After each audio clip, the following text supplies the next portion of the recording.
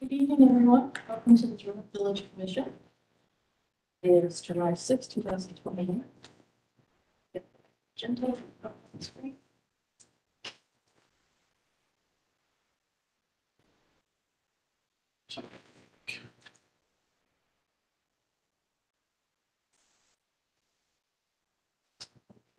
you're right. This is the call of order for the German Village Commission. Uh, Today is Tuesday, July two 2021. It is 4:06 PM. You're back live again in person on North Front Street. Uh, The next commission monthly business meeting will be Tuesday, July 20th, 2021, here at 111 North Front Street, second floor of 204. The next commission hearing will be 4 PM Tuesday, August 3rd, 2021, at 111 North Front, North Front Street, second floor, room 204. Go ahead and we'll swear in staff. You swear to tell the truth, the whole truth, and the truth. Dear Jacqueline Newman, Assistant Historic Preservation Officer. Thank you, Jacqueline. Go ahead and have the introduction of commissioners present. We'll start down to the right. Brett Fold, present. Karen McCoy. Uh, Chair Anthony Harkey Teresa Durst. and Commissioner Steele and Commissioner uh, Farrell have yet to be re, uh, reappointed. And Commissioner Panzer has uh, left his position, moved to Arizona, and we're looking for a seventh member. Uh, We'll move on to the approval of minutes from Tuesday, June first, two thousand and twenty-one. Move to approve. Second. Any questions on the motion? All those in favor? Aye. Those against? I have it. Um, Go ahead to items of public forum. Jacqueline, No items of public. no public forum. We'll move on to the staff approvals, which begin on page five. Second to spin through those.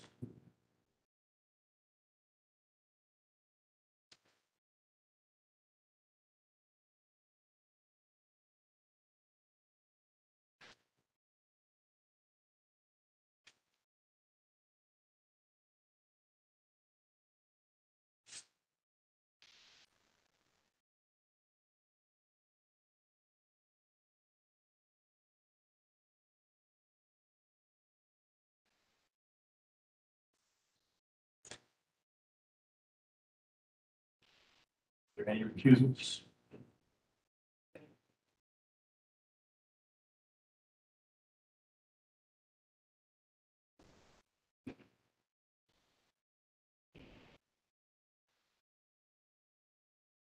Move to ratify the staff approval. Are Second. there any questions on the motion? All those in favor? Aye. All those against? Said motion passes. We'll move right along to the applications for this evening. Uh, the first application will be application one, GV 21 7 36 79 Thurman Avenue. Applicant for seventy-nine Thurman.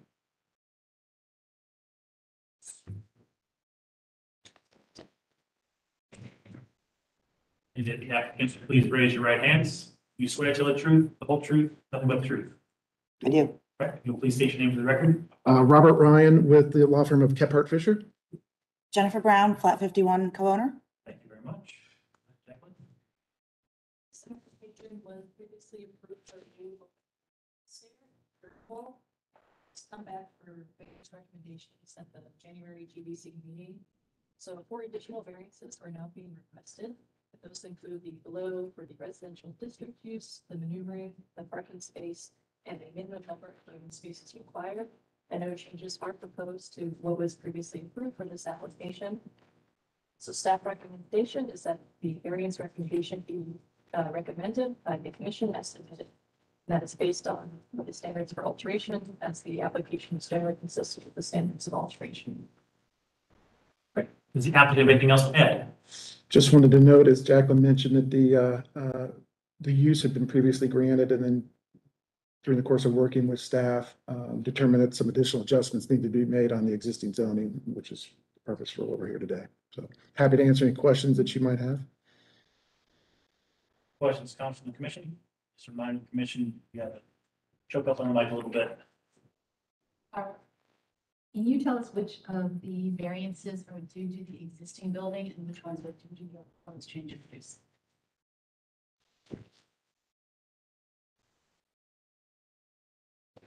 Bear with me for just one minute. Just the changes in uses? Is that Well, the, which of the variances would be required even if you had no change of use? And which ones are required specifically because there is a change of use?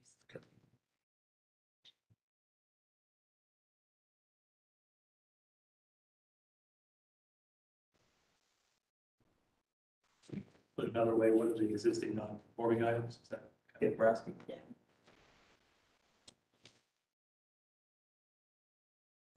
the existing non-conforming would be parking. Um, Although there's an adjustment that the, correct, uh, Jacqueline? Um,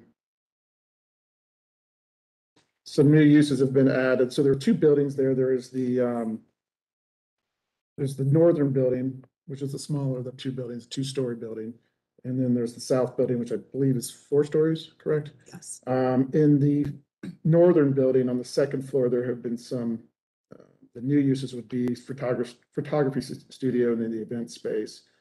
Um, Office uses were pre- previously permitted and are still permitted. And then I believe we've added some retail uses and commercial uses as well, permitted on the second floor of that building. Um, other changes. what would be the second floor of the south building. um, Medical uses, medical offices, office uses were not previously permitted, but would be permitted now.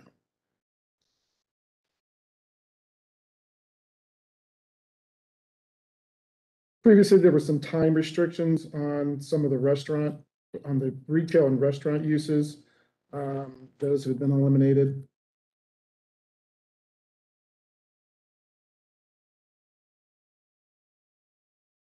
I believe there were also some changes made due to staff uh, recommendations due to uh, uh, the fact that those items aren't typically addressed in a variance application. I think one example of that was the use of the uh, um, any type of a outdoor uh, facility in the alleyway because the, you know, commission doesn't have approval rights or the staff doesn't have approval rights over the use of right of ways. I'm not sure I've entirely answered your question, but Well, I, I guess just taking the first one, mhm. the R two residential district use variance to allow uses. I'm saying, I'm asking is like what your building has right now, does it fit the R two zoning? If, if there weren't any new things in the building. Would the current uses fall within, Right, that, The uses that were not in that application, that were there before this miniature application. I believe that's correct, yes. So that one is because of the proposed new uses.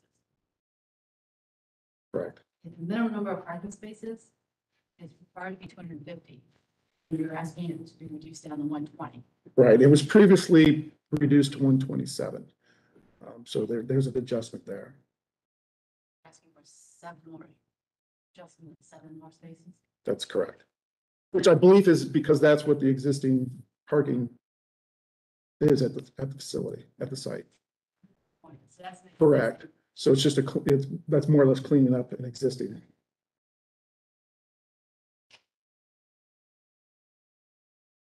Then the other one, uh, twenty-two parking spaces can be stacked, is that also existing? There are, there, yes, I believe that is the case, um, but staff has asked us to add as a condition of that, that they, that any stacked parking be, um, only used by, uh, the same tenant. Uh, so only two spaces. So I- my understanding is the stacked parking's been there for. some It has. Right? Yes. Yes. Correct, yes. Yeah, page five of the application. You can see it in an area where the stack park.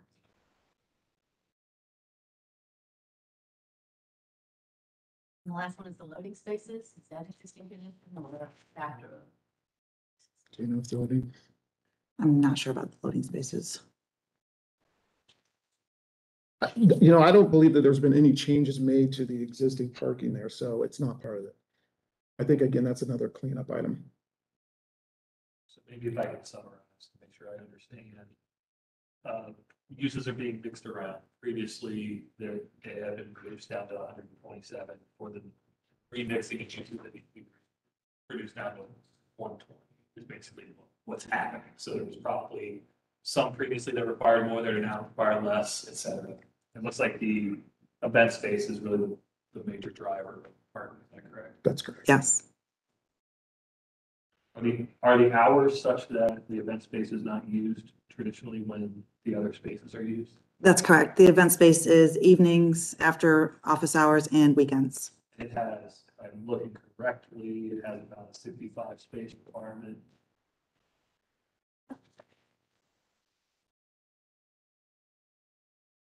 Any further questions from the commission?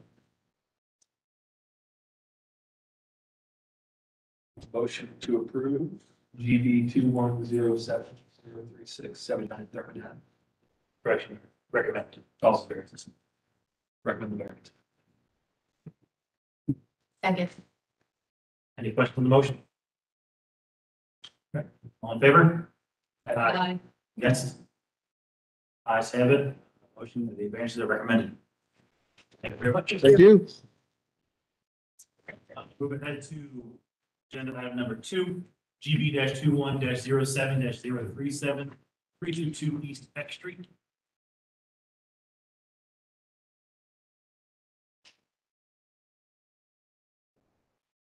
Hello, welcome. Everyone, Please raise your right hands. Do you swear to tell the truth, the whole truth, nothing but the truth? I do. All right, Your name is? Morris Manring. Michelle McFadden. Much. All right, Evan.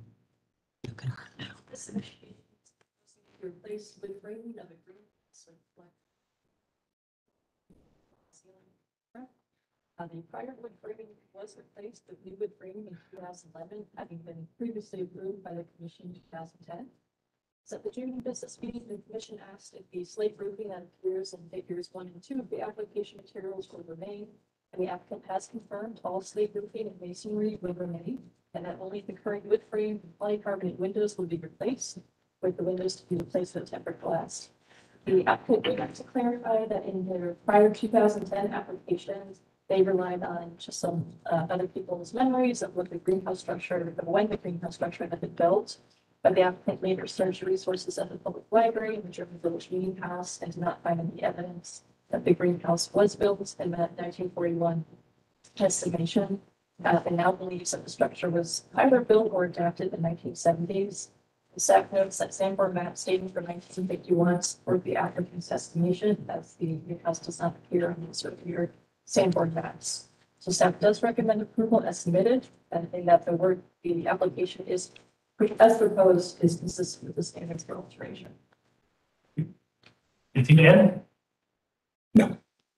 Any questions from the commission?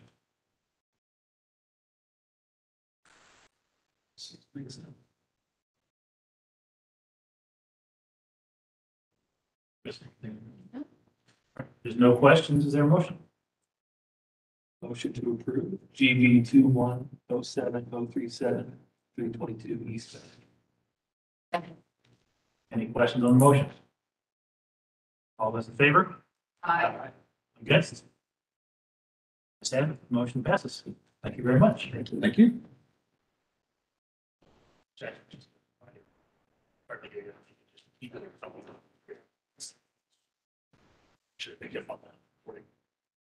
Right, uh, moving ahead to new applications, uh, item number three, GV 21 7 38 548 South Third Street. Applicant for five four eight South Third Street. Al Nichols or Chelsea RV Limited. Put that one on table.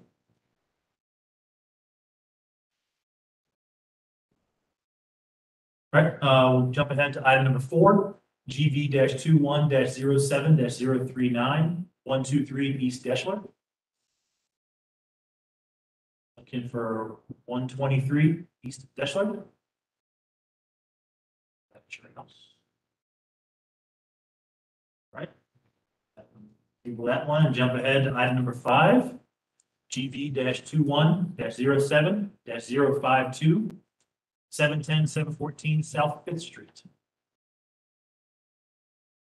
And for this one, you both please raise your right hand. You swear to tell the truth, the whole truth, nothing but the truth. I do. Great. Your name is, ma'am? Carolyn Gifford. Thank you. Steve Gifford. Thank you very much. This application, the previous to construct an addition and garage. The applicant uh, does need to remove several trees in order to begin construction.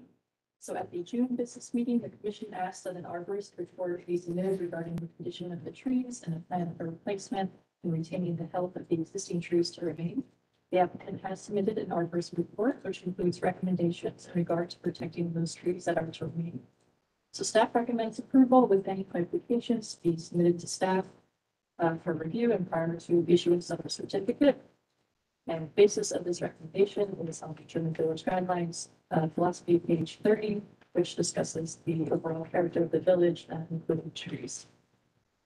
Okay, Chairman. Does the Applicant have anything else to add? And if you do, please make sure you speak, you step up to the microphone. No, I don't think. no. Great. Uh, questions, comments from the commission?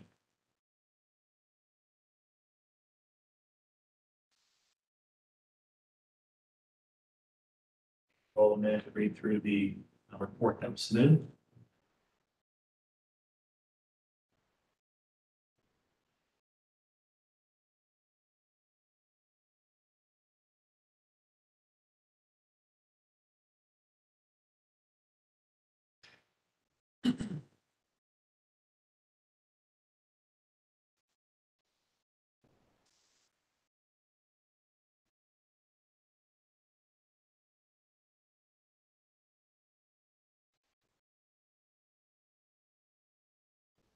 Or do you have anything on this?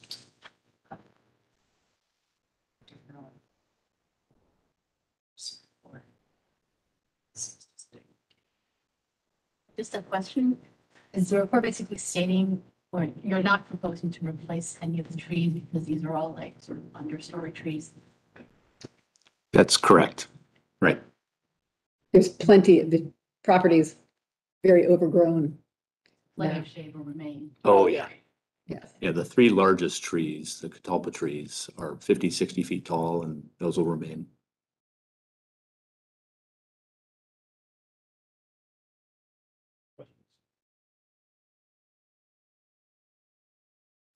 landscape architect okay to do things. I'm okay with that, given the arborist report. There's no other questions. Is there a motion? Motion to approve GV two one oh six oh five five, uh, seven one oh, seven fourteen, Fifth Street. Second, Any questions on the motion? Vote, all those in favor? Aye. Against? That's it. Thank you very much. Thank you. Thank you. Right, move on to item number six, GV 21 7 40 181 Thurman Avenue. Please raise your right hand. You swear to tell the truth, the whole truth, nothing but the truth. I do. Please state your name for the record. Uh, Darren Barrett. This application is proposing to install new automated gates at the rear of the property with access via the alley through an existing fence. The applicant said two poles will be dug with new posts installed level with the existing privacy fence. And that the gates will be twelve feet in length and made from rough iron with a black outline finish. At the June business meeting, the commission asked staff to confirm whether gates swinging out in right of way would be permitted by the city. And the commission requested a plan sketch to better understand the location and context of the proposed gates. The commission asked that the mechanisms will be used for the committee to understand the visual impact. So staff has confirmed that the gates would not be permitted by right of way to swing outward into the public roadway. However, the applicant has submitted a site sketch and have updated the proposal to have the two gates swing inward from the applicant notes on the site sketch that the gate posts are three and a half inches by three and a half inches square steel tubing. nine feet long with at least three feet to be in the ground. The gate post will have a black powdered finish coated to match the gate. And several gate style options have been submitted. Staff analysis is that the gate style should be simple and compatible, such as the gate initially submitted, which was noted as the Madrid style. So staff does recommend approval with conditions, and that condition be that the gate be, the gate style be simple and compatible.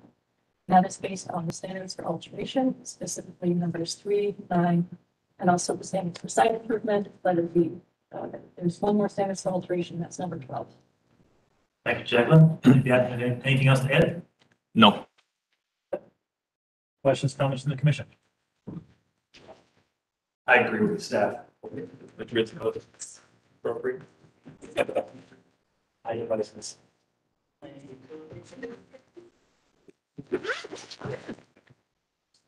There's both, but I, I would just say that I agree that Madrid seems the most appropriate, it's the simplest. Is is it typical that the gates are taller? Oh, I didn't notice that.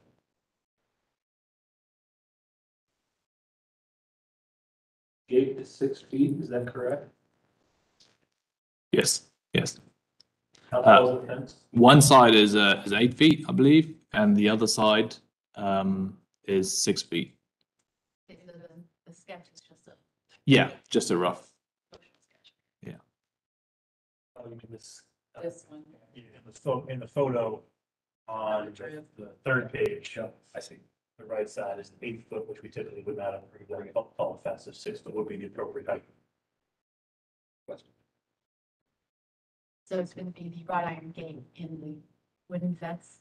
Yeah, so the wooden fence is going to stay where it is, and the wrought iron gate's just filling the gap. They have animals, and they want to just be able to close it for security.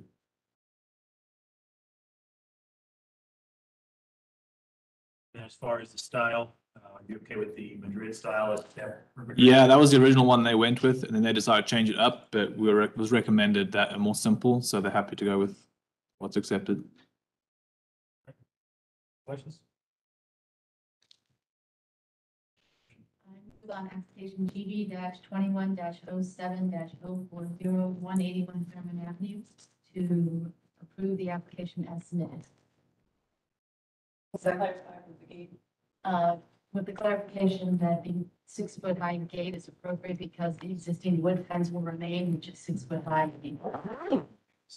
In the Madrid style, which is simplified style that.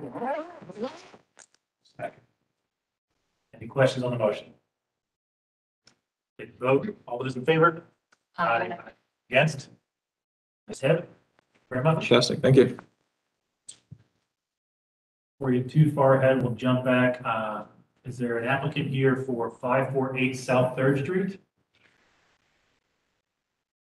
Or an applicant for 123 East Deshler? Keep on uh, plowing forward. Item number seven, GV 21 7 41 801 City Park Avenue.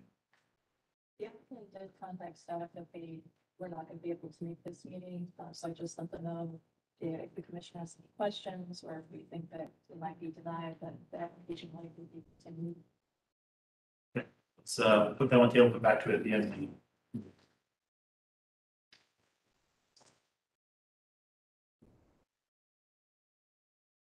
We'll jump ahead to item number eight, GV 21 7 42 833 City Park. For eight three three City Park.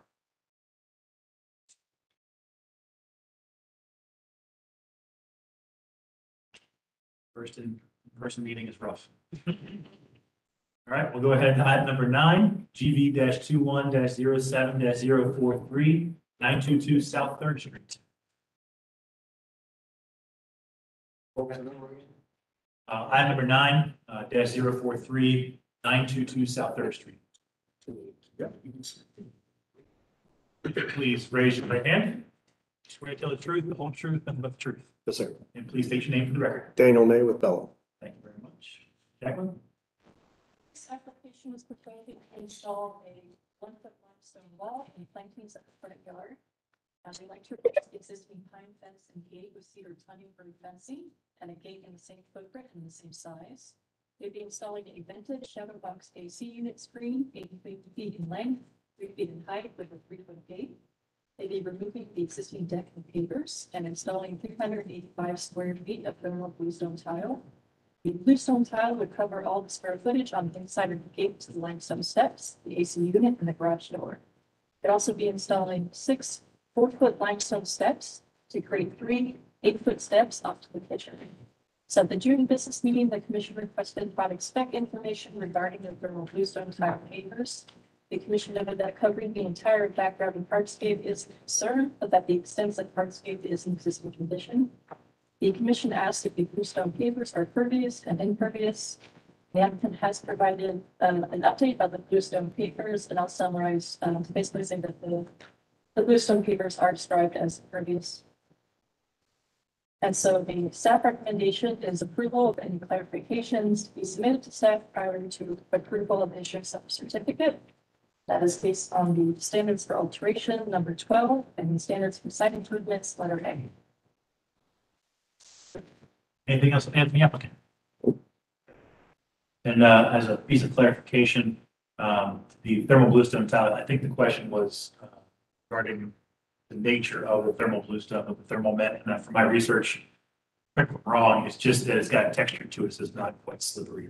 Correct, yes. Any other questions or or comments from staff or from the commission? So is the stone being set on a concrete base or? No. Sand. Is the, and the material is real bluestone or is it said tile or is it of? Thermal bluestone tile, Pennsylvania thermal bluestone tile is, And you're saying tile just because. Tile, because- Dave Ronska. tiles, what they call it. Uh, it's different sizes, one inch thick, Yeah. consistent thickness, and it's, it's On an aggregate base. On the fence height, looks like it's sitting on, on a- on a concrete curb or curb of some sort. Is that fence six feet tall from the exterior sidewalk or is that six feet tall? without from the curb? from the sidewalk up. Okay. Just wanted to clarify, I think the typically fence- our, our six foot is Right. from the. I think it's a five foot fence with a one foot bump up. Gotcha. And the eight foot board, that's referring to the span, correct? I'm sorry, Where it says eight foot top board, that's referring to the span, correct? I assume, yes.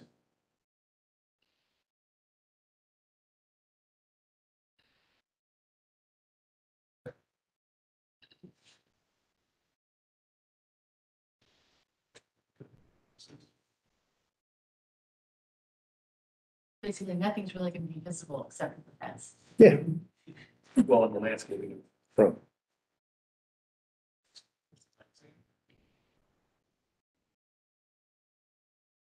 Sorry, not hearing any more questions. Motion to approve GV two one oh seven oh four three nine two two South Third Street. Second, Question on the motion? Would make a clarification of the six foot height of the top of the fence from the exterior. Saying. All right, if there's no, uh, no question on the motion, all those in favor? Aye. Aye. Against? Yes, have it. Thank you very much. Go ahead to item 10, 632 South Fifth Street. GV two one 7 44 632 South Fifth Street. Please raise your right hands. You swear to tell the truth, the whole truth, nothing but the truth. I do. Right, please state your name for the record. Anna Gutskaya. Aníbal Sodero. Thank you very much.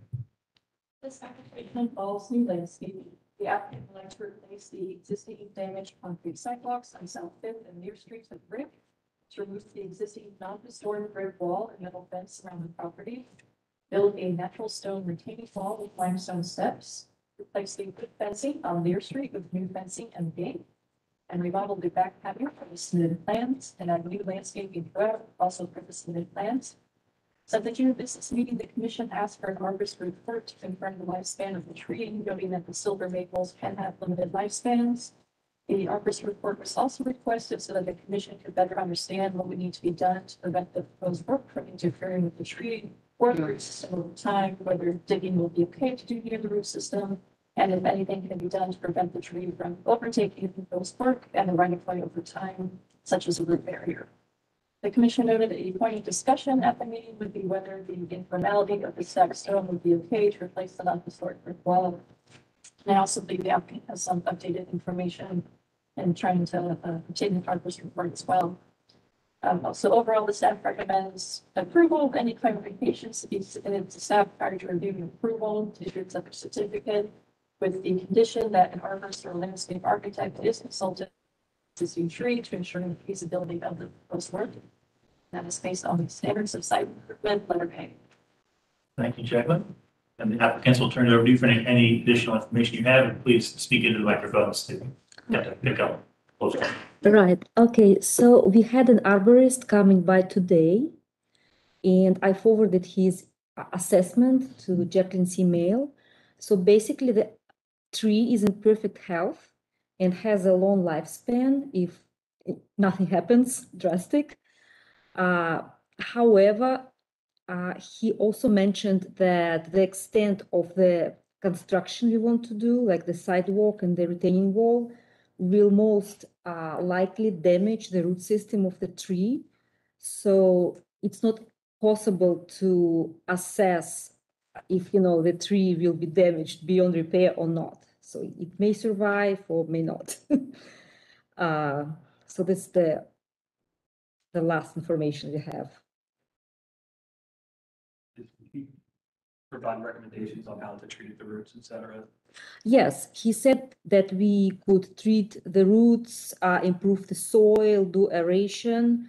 However, uh, like on usual construction site, they would require much larger space around the tree to be knocked, not digged into. But we don't have the space, so to do the new retaining wall, we have to come quite close to the tree. He also offered uh, that during the construction, when the retaining wall comes down, he would come out and kind of point out which roots would be better not to cut, whatever. But again, he cannot guarantee that the tree will not be damaged too badly. I'm of the opinion wrong, that converting the concrete sidewalk to brick, I think, would help the tree in general. Pervious surface that you know, get more Mhm. water, and whatnot down the roots. I think it's the retaining wall is the probably most risky thing.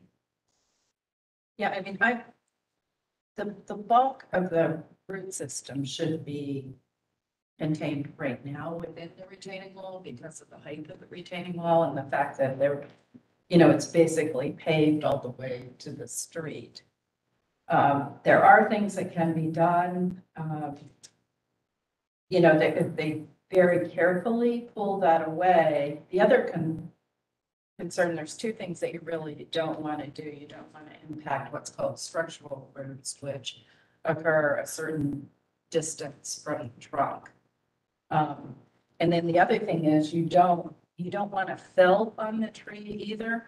So I have a little bit of concern with the fact that the tree is going to be impacted by the construction of the wall. And then you're also showing a lot of landscape around that tree that's not just ground cover, you have Taxus and other things that are going to require excavation.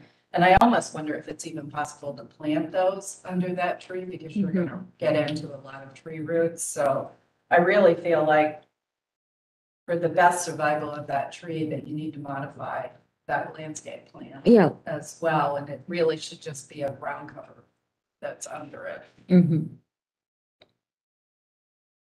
That just the area, uh, on page three. Um. It's kind of a dash box around that silver maple. Is that the area you're most concerned about there? Yeah, there's, there's kind of a brick edging there. I would say yes, if you kind of stayed within, within that zone and kept any kind of, I mean, you're basically going to know when you start to excavate if you're hitting a ton of roots and Mhm. silver maples are surface rooting Mhm. trees. That's why they break up all the, you know, concrete paving, things like that. So I think it, that part will be difficult. Mhm. Um, I think there's probably a way to build that wall back You just have to, um, without damaging that, those existing tree roots. You have to be careful, and if you do have to cut roots, you have to do clean cuts, and you don't want to leave those roots exposed for long. Yeah. So there's lots of things that can be done. Karen, if you look at the detail, on figure seven, the wall shows limestone and drainage tile behind it. That maybe get the system. Seven here, sorry, yeah, there you go. Yeah, which is, which is typical. They're putting, um, And then obviously the pictures show that the, the roots are. Yeah, it's just. Concrete, yeah. They're there. they're there. Uh, can I also check with you one more idea? So I asked this arborist what he would do if it were his property and his tree. And he wanted to do the construction, so he said that he would remove the tree. He would level the front yard down to the street level, as like all other houses on the street. And he would plant a new, more appropriate tree, because silver maples, they are almost nuisance trees in his view, because they're not appropriate to plant near sidewalks. So he would plant a different tree and do the construction and would not have retaining wall at all. So I wanted, we wanted to check if maybe this solution would be preferable, you know, in, from the point of view of the neighborhood. Because we would plant several trees that would be more appropriate in the long term. I'm not saying it's our preferred solution, but just an idea. Certainly would help with. making sure the sidewalks not heating in the future, right? So typically, typically when, when a large shade tree is taken out, we want to make whatever is back is, will become a large shade tree as Mhm. opposed to something more invisible. Mhm. Thank you. Yeah. I'm actually surprised. um, Do, do you have a written? Do you have a written? Uh, so he sent me a email, which I forwarded to Jacqueline, because there, he consulted with the person who does specific risk assessment for the trees and takes care of the trees during construction projects, and this was the feedback he got, that the tree will get damaged. But My question, Commissioner, is, we know that a tree that, that has caused problems to the sidewalk and continue to cause problems to the sidewalk. With the applicant, knowing that their landscaping would likely cause damage to the tree. Is something we want to entertain at the time of, does it make sense to just replace the tree with a more appropriate tree? And just take it off the table altogether? I, I hate to take down mature trees, but I also know that, um, I mean, silver maples are weak wooded trees. And they're subject to wind damage and all ice damage, all sorts of things. Um, so if it, you know, really in that small space, you would only put one tree back, you know, a good shade tree back. And, you know, maybe something like an oak that's gonna be more deep rooted. This tenacious tree has been there for so long. It has. We, we love the tree. Yeah. It was actually the reason we bought this particular house, so it's breaking my heart. Mhm. Of course. Necessarily advocating saying you should take it down, just hit on the table, yeah. It's on the table, something to talk about, and, and if through the course of construction, the tree does become damaged. Five years down the road, you start seeing the damage. Um, we, we want to be on the record that we want a tree to go back. Mhm. And that if the tree that is not decaying from, from natural causes, it will be, will be decaying because of the work that was done. Um, Mm, that's always, I want to make sure that's on record down the road then. mhm. Once- Yeah, I had four silver maples in my yard and of course, in ten years, one by one, they all come down. Mm. This one is pretty high. It's about four stories high already. And I think the lifespan of them is not very long, at least based on internet research. And this been there forever. So uh, we really do, uh, don't have like we are not certain what we want to do, so I really want to rely on you guys to say to us, like, what would you recommend? Because we I'm kind of can- mhm. that the house because of the tree. So if you want to move forward to try to preserve your tree, I think everybody would support you. Mhm. But if you then subsequently discover that the tree did get damaged and it's dying, that you recognize that if you have to take it down, then we'll put back another large shade tree Mhm. and not just a cute little ornamental tree. So like another piece of information is that the retaining wall is the second most expensive item on the project. It's like fifteen thousand dollars. So taking down the tree, leveling everything and putting a big new tree, it's actually cheaper than redoing retaining wall. So you know, if down the road the tree starts to die, we will have to do all that all over again. Historically, the commission has not liked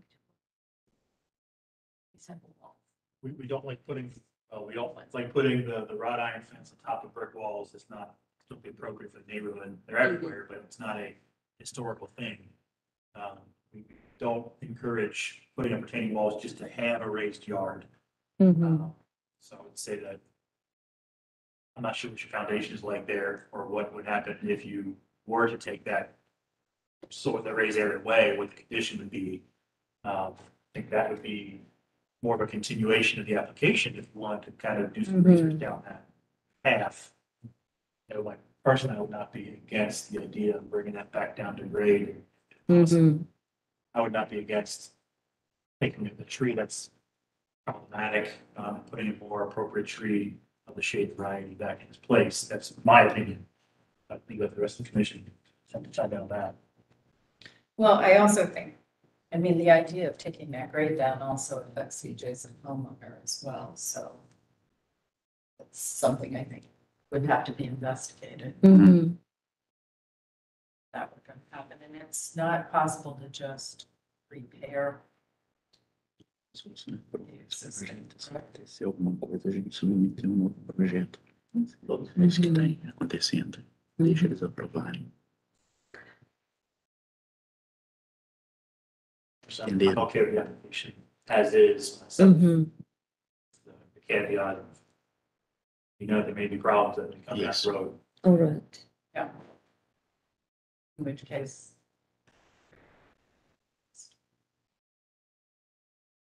Qual a condição? This question is commission, does anybody oppose anything in the application as is with that understanding? Mhm. Okay. Here are the pushbacks. The applicants, we can No. vote on as is. Yes, yes, this would be, yeah. And if you'd like to, uh, maybe you've already decided that you want to pursue taking it all out, you can come back and apply again. Of At least course. something. Yeah, I just wanted to hear, like, because you do it all the time. Wanted to hear your opinion on them. Mhm. Other questions or comments, their motion? It- Just as a question, are we going to do that, make, uh, can we make the replacement of the tree that's damaged a condition of approval? So I think it was on the record, and then they go, the tree needs to come down for some reason, they Mm-hmm. want to get back to the record. it's- Mhm. So then I will motion to approve GV two one zero seven zero four four six three two South Fifth Street with the condition that if the tree is damaged beyond repair or is dies later because of the work, that it will be replaced with an appropriate tree to be reviewed by the commission. Second, Any question on the application? Take the vote. All those in favor? Aye, aye. Yes. Nice have it. Thank you very much. Thank you. Uh, Quick look back, we have an applicant here for five four eight South Third Street. One, two, three East Deshler. Eight three three City Park. All right, keep going forward. Uh, I believe we are on item number eleven, GV 21 7 45 306 East Beck Street. All right, The record show the applicant is still on the record having sworn in earlier. Jacqueline? This application is also involved in landscaping. The applicant would like to replace the existing pine wood fencing and gate with new matching pine wood fencing and gate within that same footprint. They'll be installing three 10-foot and three six-foot limestone steps to replace existing mortar-filled brick steps at the entry and side patio within the same footprint. They would be relaying the existing brick sidewalk using gravel base, installing a one thousand four hundred three square foot of Bellcrest seven six zero plain brick pavers and ninety-two square feet of thermal bluestone tile with a permeable gravel base and gravel screening to be used in all joints. They would be installing hundred sixty-seven feet of six-inch cut limestone walls as tile edging and landscape border. and Installing eight-inch cut limestone, twenty-six feet by one-foot tall walls as planter boxes. They'd also be installing uh, seventy-one gallon, forty-eight two gallon, nine three gallon, three five gallon, four seven gallon, and one fifteen gallon shrubs, and custom hardwood mulch and premium topsoil. Uh, so the extensive hardscape is predominantly in existing condition, and the applicant is proposing a permeable material to replace the brick. So at the June business meeting, the commission asked for product spec information regarding the thermal bluestone tile, uh, noting that much of the area as possible should be permeable as the proposal would still be covering the yard, most of the yard with hardscape. The applicant has provided that information about the bluestone tile. And so staff recommends approval. Any clarifications be submitted to staff prior to the issuance of certificate. And that is based on the standards of alteration number twelve and the standards for site improvements, letter A. Anything else to add? Yes, sir. Questions, comments from the commission? I'm Just checking the, the limestone edging retaining wall is only on the inside. It's not associated with the pine wood fence at all, No, it's- yeah, just around the perimeter of the patio. inside the fence. Correct, yes.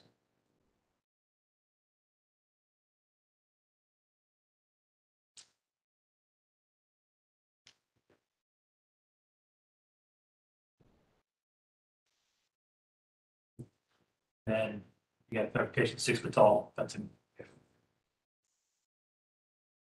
Is the new gate also pine wood fencing? The new gate, the front gate, Yeah, just Which the gate? Gate and for that existing gate or is that? uh, there's a gate up front that's being repurposed, moved back a foot and reused. There's a back gate that's pine or cedar fencing. Did I answer your question? So the- So the gate that's up against the garage is existing? Correct. A four shows that gate. Existing gate. The footprint of almost the entire project stays the same. Just putting new materials, you know.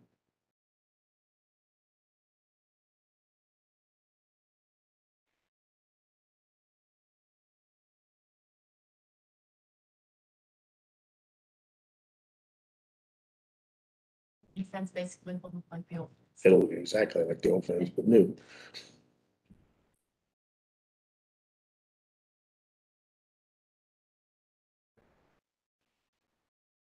Motion to approve GV two one zero seven zero four five three zero six East. Second, Any questions on the motion? Vote, all those in favor? Aye. Those against? Ayes have it, motion passes. Thank you very much. So that's item twelve, GV 21 7 48 720 City Park. Please raise your right hand. You swear to tell the truth, the whole truth, and nothing but the truth. Yes, I do. And Please state your name for the record. It's Nathan Sampson. Thank you very much. Second. This application is regarding exterior alterations. The applicant would like to replace non-historic wood siding on dormers at the primary or west elevation with new wood six-inch Dutch shibboleth, uh, true exterior, otherwise known as Boral siding. After previously approved siding at the rear of the home. The applicant like to replace the non-historic break boards, corner boards, and window trim boards with five-fourth inch, uh, Boral trim boards. The new window trim dimensions and detailing will match the existing. The applicant would also like to replace the non-historic two over two double hung windows at the northwest and south elevations with new two over two insulated clad windows uh, with a selection to be from the approved windows list. That would be the Marvin Ultimate G two window. Um, the finish would be ebony. And that would match the previously approved window finish at the rear of the hall. So at the June business meeting, the commission asked that the applicant double check that the brick mold is the correct uh, simple square brick mold, noting that this brick mold type does not always show up in the Marvin catalog. Uh, so the staff recommendation is that the siding reveal appears a little bit wide in proportion to the dormers, so staff does recommend approval um, with the condition that the siding reveal and the dormers be reduced. And the basis for that recommendation is the standards for alterations, number nine and twelve. Anything else to add? Um, I don't think so. The, the one clarification I think in the agenda was just to make sure that everybody understood that the uh, corner boards adjacent to the proposed siding is a five quarter board. And I think we cleared that up just to make sure that those are proud of the siding that's proposed to be installed. Um, we did, uh, specify the square brick mold, um, for the windows that will be replaced in the masonry walls. Um, and I think that was it for clarifications. I think uh, what uh, Jack mentioned at the very end there was uh, on the dormer sidings. Mhm. It said can come before. Right now, it's uh, according to page uh, eight of the application. It's currently one by four wood V groove. The application is currently showing one by six Boral Dutch lap. You had chose, correctly, showed a six inch, but they didn't make a one by four in the boral uh, lap side. Correct. It's, it's to match the siding uh, previously proposed and approved and installed in the back of the house. Um, That siding, I mean, the exposure um, on that siding is five inches, think it says right here. Looking at the last page, looks like the only thing that comes in a one by four in the boral collection is the nickel gap, which Correct. certainly.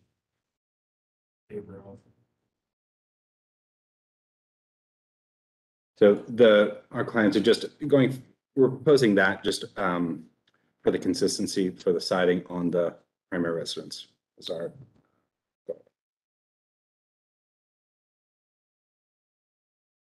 The primary residence with addition. The, where the wood siding is, yeah, that's an addition on the rear. Yep. New. Yep. We know the age of the dormers. Dormers are not historic. I've checked it. Okay. Yeah, they're definitely. Then it is appropriate and okay to match. Okay, that's, okay. The que, the question just for applicants and maybe else's knowledge is if it's a historic feature of a historic structure, we want to maintain as much historic character as possible. Um, Trying to use an addition to, to ride the choices of historic structure. would be inappropriate. Yep, yep.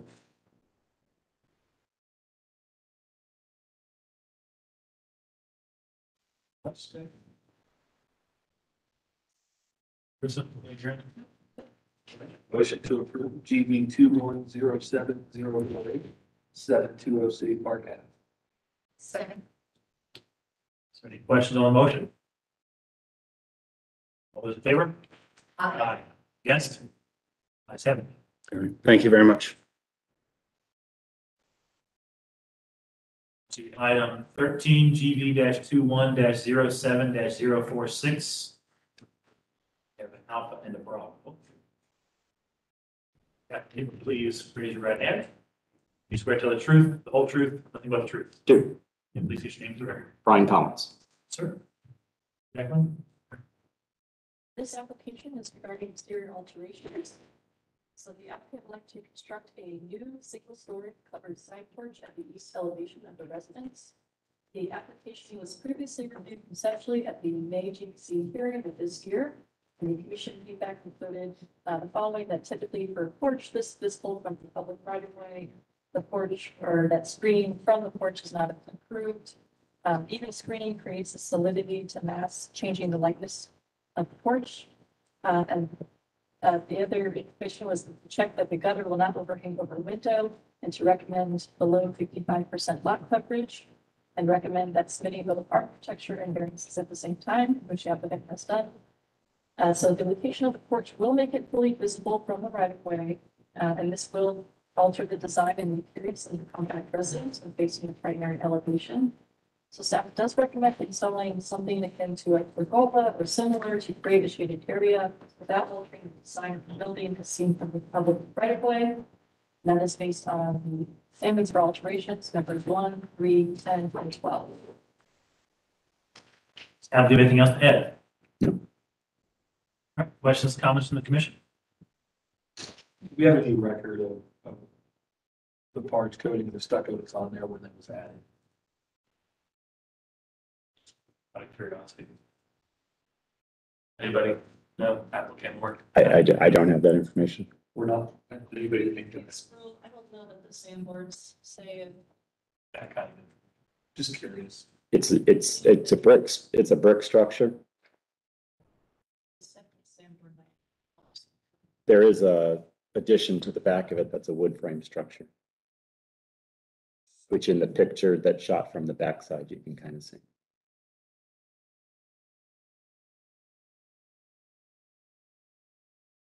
Side, sidebar, sorry about that. That's okay.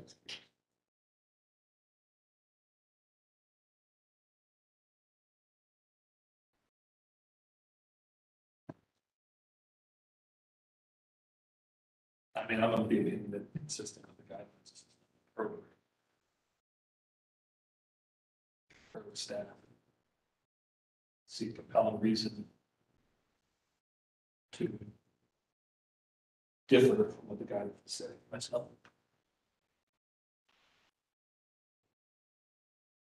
When we uh, came for our conceptual, none of that was brought up. And in, uh, in the letter provided to us, none of that was brought up. The only issue that was brought up during our conceptual was uh, with regards to the zoning variance requests of lot coverage to take it back down to get it uh, below fifty-five percent because it currently is over the fifty percent requirement already.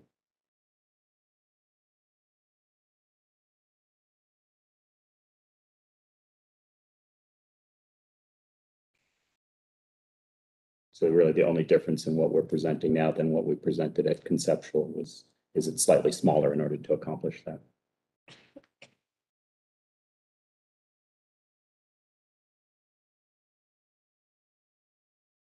This is not a screen porch. It is not as an open porch. Yeah, we asked the question at conceptual whether a screen porch would be uh, considered and basically got a round of no's. So, yeah, we, again, we didn't, it was simply a question from the owner. You know, they, they want something covered. They said ideally they'd like it to be screened, but they understood if it couldn't be. And again, the, the pictures they uh, submitted are uh, current, one of them's a current thing on, uh, I can actually, it's on uh, Third, which was done within the last ten years. Um, is almost identical. It's a side porch seen from the street, very little landscape screening. It is uh, six eighty-nine South Third Street.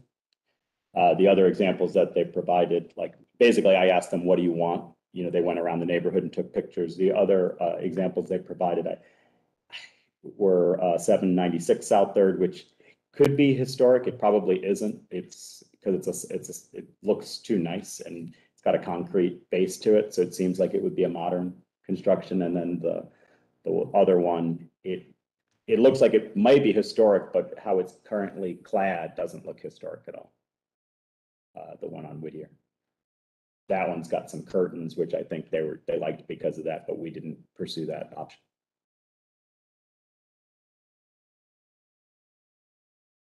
One. One part I'm having with it is, uh. On page seven. Eight. Of the drawings. Showing a continuous two by ten ledger.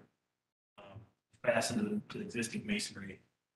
Um, Anytime we try to, put put- put- putting porches or, or things. Tying into the existing structure is always Right. dicey, in my opinion. Is there a way to have this, you have columns along the face of the Potentially, the problem that I would run into, I guess it wouldn't be along the face, it would probably have to be a little bit off, because typically it's a full basement, I'm gonna run into some kind of debris trying to get a column in there. I mean, we have in the past lagged into, um, those, you know, old masonry structures, it's a rubble stone foundation. Um, where we're hitting probably would be brick because of how the, it's built. Um, we can use epoxy anchors as, you know, along with the wedge so that it's not relying on a, a wedge connection. Once the epoxy sets up, it, it'll hold. My engineer didn't have any problem with it. Um, but, but yeah, you could probably run, just like we're doing the column line, uh, which is the outside line. We've got three piers there. We could potentially do three piers that are maybe like two feet off of the building and not bring those up through the structure. So they, they, they wouldn't have to be seen in the elevations. They would exist only below. That you could potentially just cantilever, build it basically as a separate structure, but I still, the roof, I can't do that really. The, the- like the, the floor structure, that, the roof, I don't know how you would accomplish that without drastically changing the look of it, because I can't cantilever back that far off of the columns we have now. The, the, the two pieces, two reasons why I have a little trouble with suspending it off with the existing structure. One, when you drill the anchors in the brick, you're basically damaging the brick that's there. If this ever comes off, one of the the tenets of preservation is want to try to do it in such a way that you're not going to damage the existing fabric. Um, so with this being hard, it's going to be very hard to try to find mortar joints. uh, to- You could cut off the parging. Think that's I what, that- yeah, what hap- what happens. Um, the other piece is a lot of these double wythe brick walls, I mean, they bulge on their own as they are, they're, they're starting to separate over time. And putting the weight of some additional structure against it just gives me pause. Which I guess I would agree if it's like a two-story addition, but being an open porch, it has pretty minimal load. Um, like that's acting on it and it's open, so it's not getting any real shear or anything, because you know, it's not gonna catch the wind. You know, it does, there's got a little bit of uplift, but that's not gonna really affect like what you're talking about, where you would potentially be pulling it out. You know, that's, uh, it's, it's a pretty simple structure, I guess, as it exists. Yeah, the, the, the concern I had, I guess, and I I apologize, I don't know. if everyone-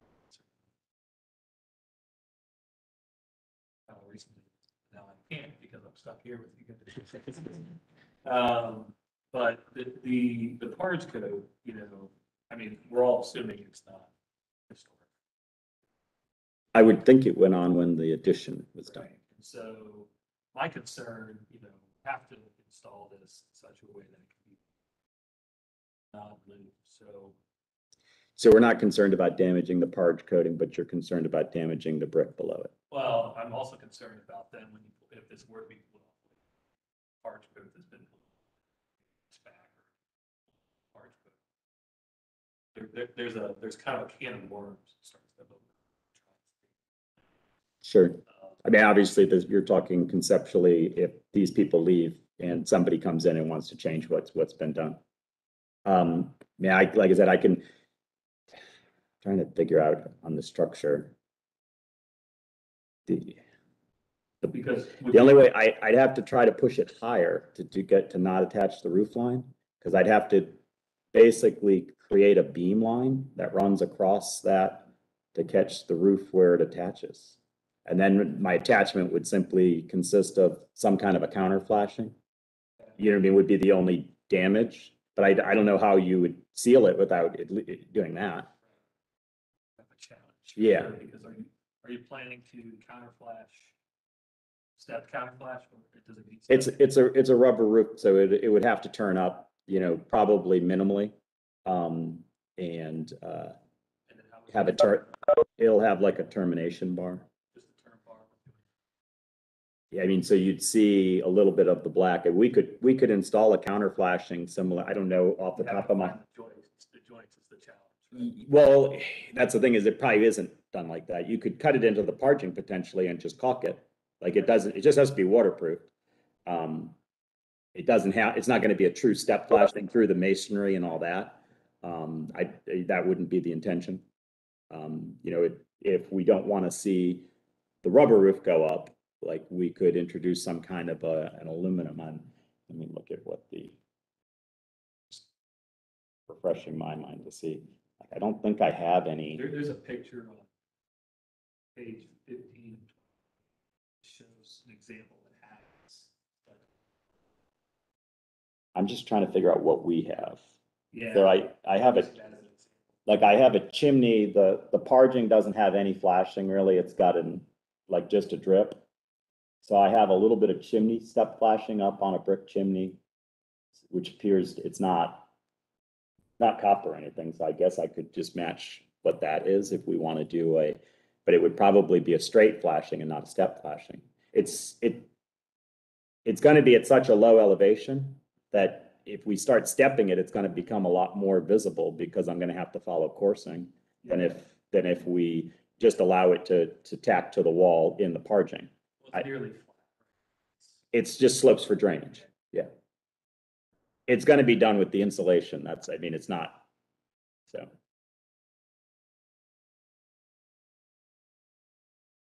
But I, I, you know, I guess we hadn't necessarily worked out that detail, we're open to whatever. Um, but I wouldn't anticipate that we'd be doing true counter flashing into the brick coursing, like cutting into the mortar joints. I would think that you're doing some kind of a, more of a termination bar type of flashing piece. Where, again, you're just gonna kind of tack, tack it there. Correct. Yeah, I do have some windows up there, but I don't know that we're gonna come in that close to them, so I don't think that they're in play.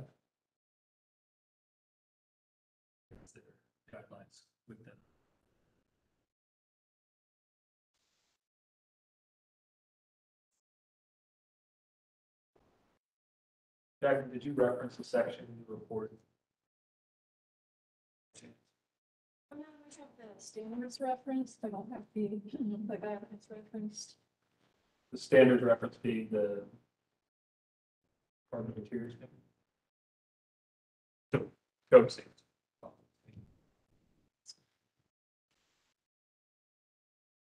Are others having any heartburn about attaching this? Not saying I'm up. Well, I mean, we've had similar applications in the past of we denied and they ended up doing pergola that was, you know, that was away from us. So, so. Um, I guess on, on our end, but like, none of that was brought up in conceptual. Like, basically in conceptual, we were told we were good as we stood it if we made it smaller, which is what we did, Right, we're just talking about fastening detail. yeah. Essentially, we have no fasting information whatsoever, but you simply we're looking at at the Right, right, but I guess a pergola versus that's standing away versus a covered porch are two totally different things. Pergola is an open roof, so it doesn't provide you with weather. Like if it's raining out, obviously if it's coming hard, you're probably not out there, but if it's raining, you can still be on a porch, but you can't be under a pergola.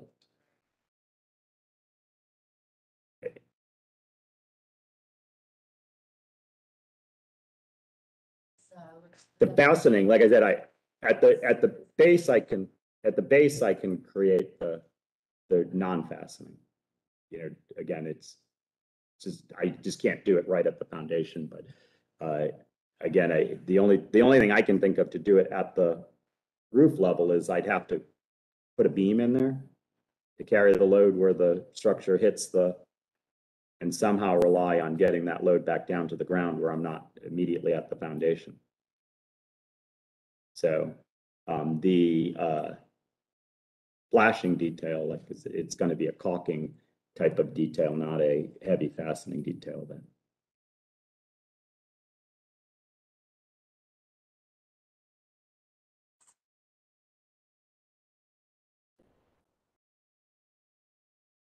I think the only problem we have right now is a fasten to the structure, the flashing that you're. Just a, a, a perg, a pergola, I guess, is not a covered. Okay, gazebo, yeah. Everything works. They can be up me, it could be up against the structure. Yeah, I would have a problem with it. It's just, I have to waterproof the roof is my issue. So I can structurally make that. But I can't, How much of a gap would- side to- that conversation we haven't had because it did not come up. But I, I mean, I would say they want to walk out onto their porch. So I don't know that I can, it's also going to be impossible for me to build a structure that's that close and be able to finish it. You know what I mean? Like if I'm going to put it that close to the building and say I create a, I guess feasibly I could create a half inch gap. But I can't actually finish that because I can't paint it. I can't, you know, like say, yeah, so I'm gonna have to pull it, that you're gonna have to pull it back a distance that it can be maintained, and then that's, you know, providing a separation that they weren't looking for.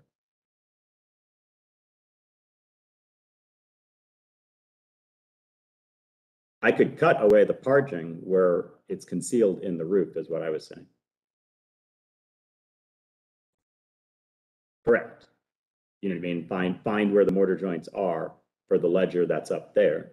Um, and, you know, it, it's a six inch ledger, so I'll, I'll have a horizontal mortar joint somewhere. So, I think we get the word.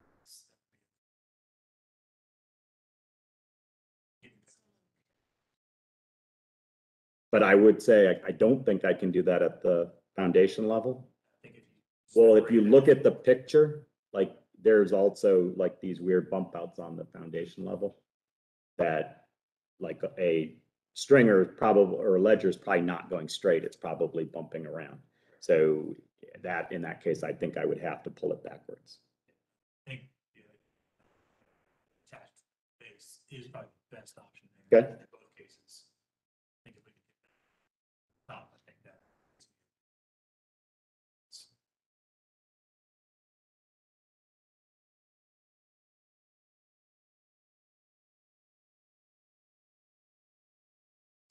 Fortunately, we're short staffed That's okay. commission right now, so we gotta, we gotta.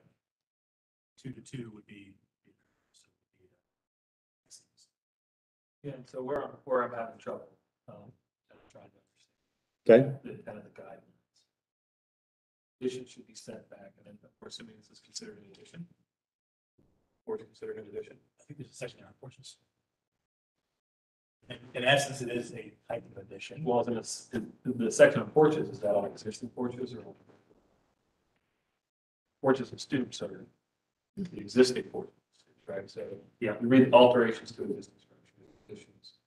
Additions should be set well back from the principal facade of a historic structure, typically it exists halfway. Additions should not substantially alter the existing streetscape, street view from any elevation.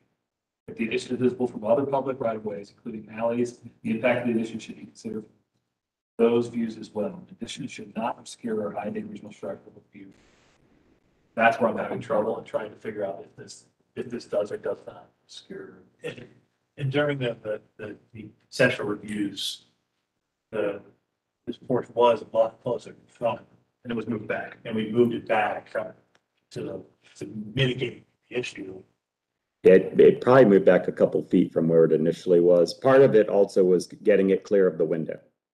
That, because that was a, a point of contention that was brought up to, to push it back. So in, in accommodating that, the size actually fixed itself and got small, smaller by, by pushing back.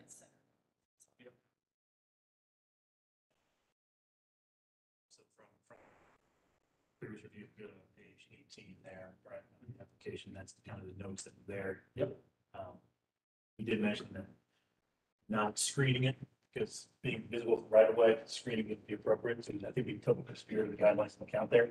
Um, trying to not make this be reading as an addition and we read it or as a porch, which I think has a nuance to it. Yeah, I think that we can get away with it.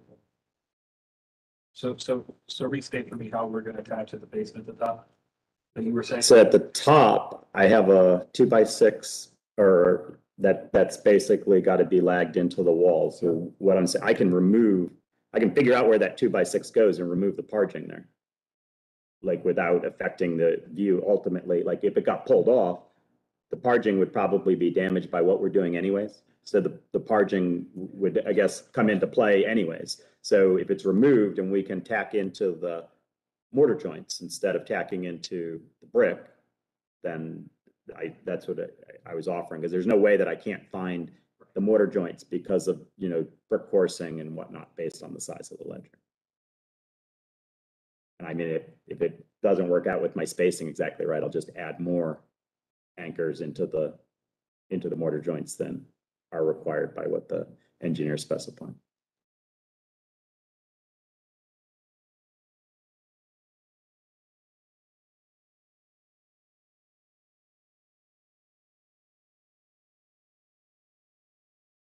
Not gonna try to the motion.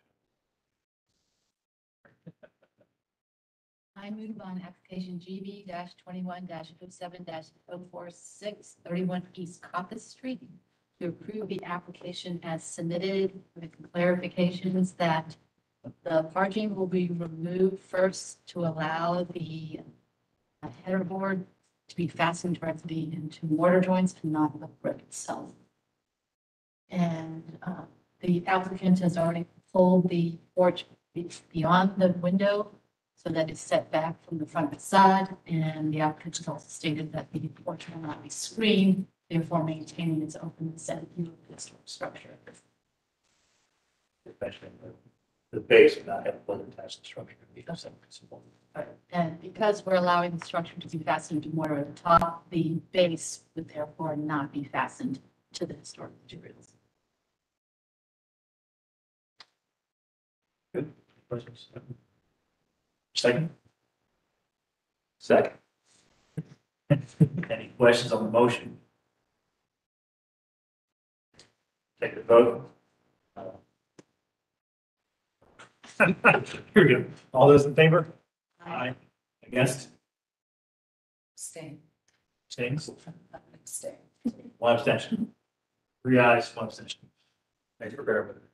That's okay. Motion passes. And then that was from Alpha. We also have to have a, a motion for Bravo to recommend the variances.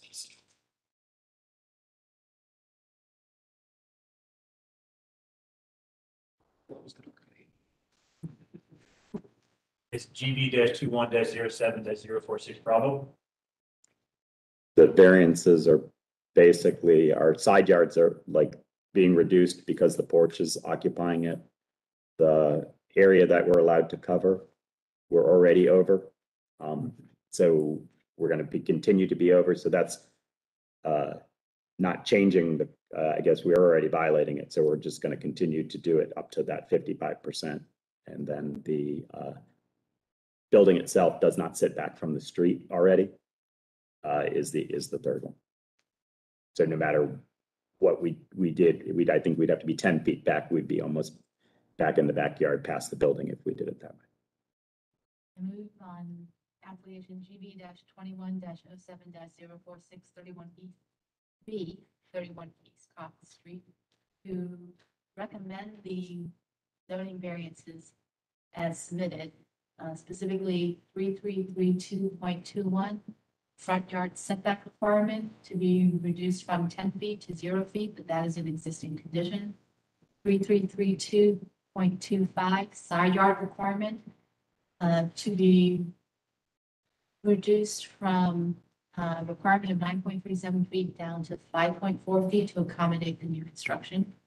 And three, three, three, two point one eight D to allow incre- uh, increase of the maximum built area to be over fifty percent, noting that the existing building is already at fifty point three percent, and with the addition of the side porch, it will be at fifty-four point six percent. Um, the applicant has reduced it to be under the fifty-five percent maximum previously stated. Second. Any questions on the motion?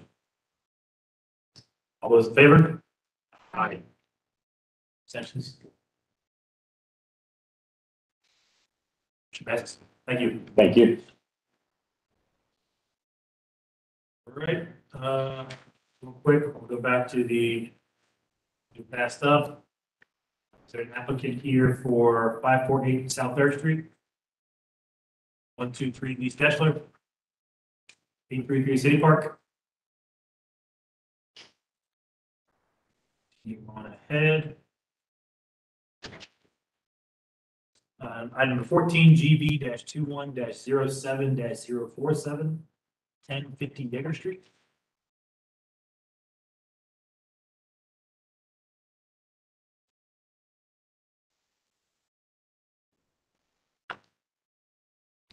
Applicants would please raise your right hand. You swear to tell the truth, the whole truth, nothing but the truth. I do. I do. Please state your correct. Anthony Hudson. Stephanie Wickham? Joseph Wickham. Thank you very much. This application is for new construction as well as demolition. The proposed work includes removing the existing non-contributing rear additions and constructing a new two-story addition with a combination of Boral and Hardie board siding for the submitted materials and installing a stained uh, concrete terrace at the rear yard. So the application was previously reviewed conceptually uh, at two different times, and the commission feedback from the most recent, the June two thousand twenty-one GVC hearing included that the application is much closer to being compatible with the guidelines, that the contemporary flat roof awnings may be a possibility. The awning over the door uh, appeared to be bulky or too wide, and noting that they should not drill into the masonry and be above the transom. The commission noted that the fabric awning may be lighter and not require a supportive structure, but the sides of the covering should be kept open. And that the proposed windows at the west elevation are off the proportion and will need to respect the massing. A single pane window shown in perspective looks more proportionate for the second story window on elevation. And the applicant, uh, the commission that the applicant needs to solve the roof overhang and may need to use fireproofing materials. And recommending getting BZA or BZS communication and writing regarding that. And the commission recommended that we- they would need to see the LP siding to, in order to evaluate that siding. The LP siding should have a smooth finish and avoid any faux wood grain, and rotating the gable roof should help. Uh, so staff analysis is that the addition as currently proposed does not get deferred out to the historic building, and that it should be narrower rather than cover and extrude from the side of the historic building. And the fenestration as proposed does contrast greatly from the historic structure and stands out from the street view. That the concrete deck is a suburban feature that's out of character with the village. So staff recommends that the addition be recessed where it meets that historic structure rather than extrude from and cover the side of that historic structure. That the addition fenestration be similar in size and configuration to that of the historic structure. And that the, any hardscape materials be permeable as opposed to impermeable such as the concrete deck. So the basis for the staff recommendations are the standards for new construction, letters D, E, and N. And also the German Village Guidelines on page ninety-three that addresses additions and has a recommendation, uh, number specific to number four. And as well as connectors on pages ninety-four. Sorry, I seem to have messed up my tablet. I was just checking Joe Wickham. I finally did recuse myself from this one.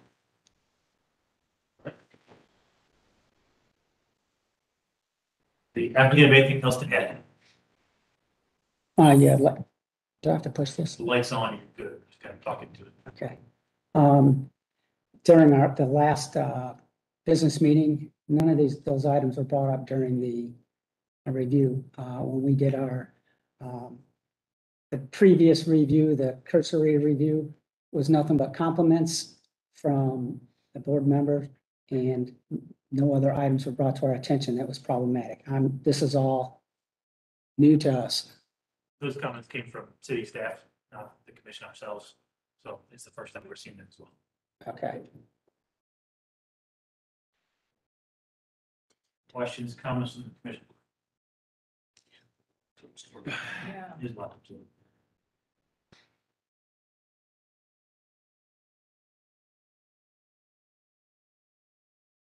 I do want to make a note for the commissioners, the, the new application pages start on page sixty-five. Seventy. Previous application, page prior to that. I'd like to add a couple other things. So Sure. we did also, we addressed the issue with the setbacks from our previous uh, review as far as um, not creating any kind of uh, variance. Uh, There was a, originally, I think when we proposed, we were within the three-foot setback. That was, that was addressed in the la, from the last meeting. Um, we also addressed the side awning. Uh, there was a, um, concern about it being too wide. Uh, we narrowed it down. Once again, during that last meeting, it was, we were complimented on how we had addressed those, those items. You can see it in that. uh, I guess if you go back to page, Page sixty-eight, because of the elevation. yeah.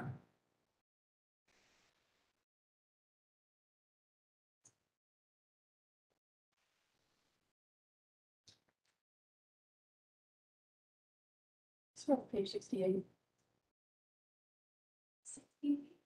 Yep, back to. there you go. Yeah, so if you see in that top elevation, uh, originally that was uh, wider to cover the uh, lower step. We reduced that to cover the existing stoop that is there.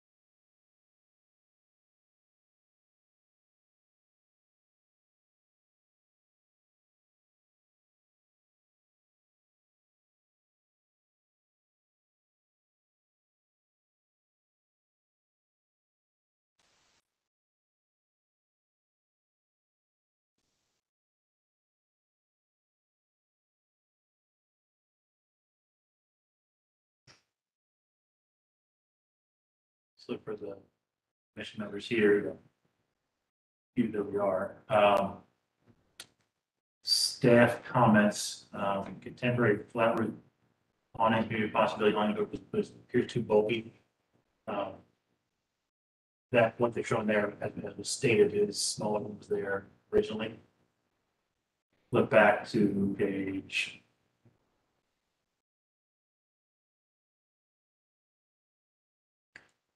page sixty-two of your application, you'll see the original awning.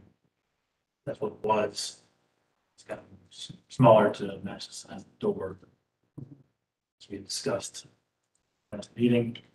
Um, was also talked about. And if it is fabric, the should be kept open. And we had a conversation about open sides versus closed sides looking at the current application here. As, is that That is an open side, open size? yes. I think it's visually, it doesn't read, it's the same.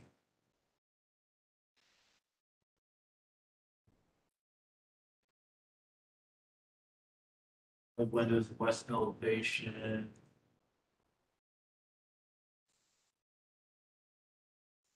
We talked about those windows, uh, last time around. Specifically the lower window. Um, We discussed that being portion wise, I believe it's a stairwell or a restroom area. That is a restroom area. Uh, originally it was a, it was a taller and the, uh, the one perspective view had shown it where it hadn't been changed. Yep. We changed it back to that. So we addressed that as well. Commission comments were either, be- it's gonna be double hung, it should be more appropriate size, maybe a single window should be kind of smaller in scale. I think it hit what was talked about. Upper window. We discussed. I know we- with the window heights we talked about, go to the south elevation at the bottom of page. Identifying windows across the elevation. Should be some heights, whatnot. Differentiation between the addition versus the original structure. That be part of the conversation. Uh, in Front. That single upper window conversation. Guys, both of you to consider. appropriateness of That. The perspective develops.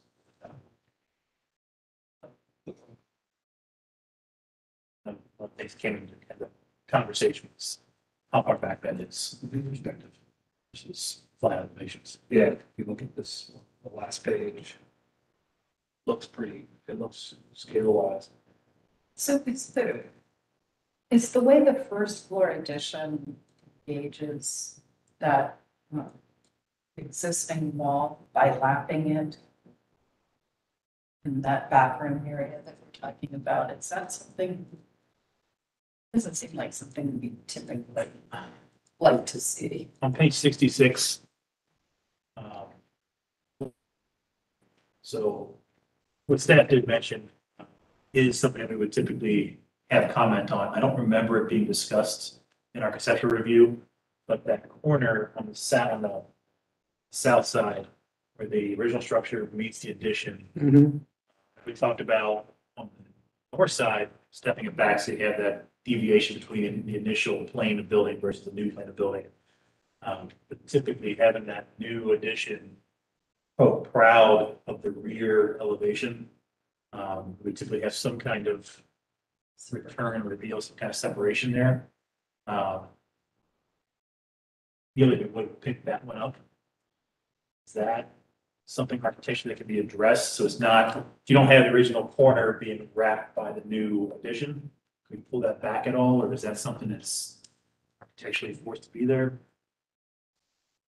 Yeah, I'm not sure how we would accommodate, um, a little offset there and still try to get the width we're, we're trying to get with the, uh, the powder room and more, more than anything, the, the kitchen, that kitchen coming down on the south side.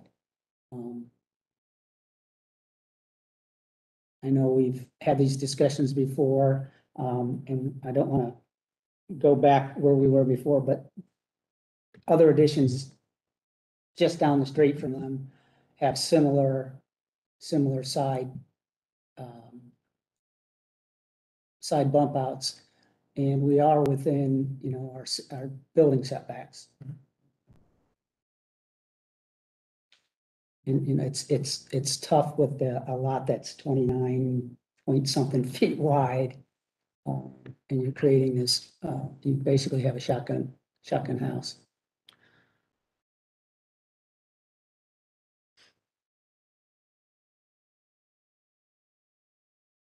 And once again, it wasn't something that was brought to our attention again.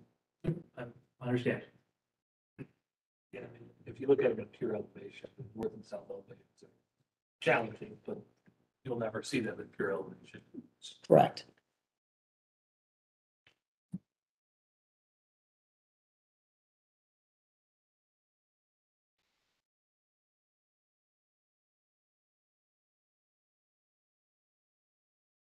The, the question was it brought up, is the Hardie on the upper, typically go like Hardie.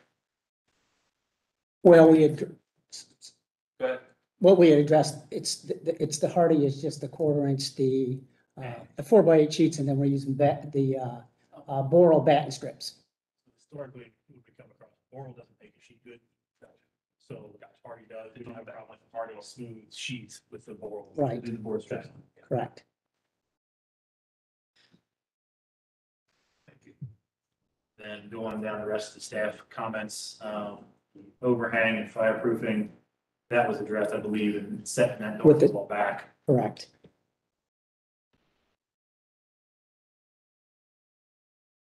And then the comment about getting BZA, BZS communication right, I think that's also part of that north wall.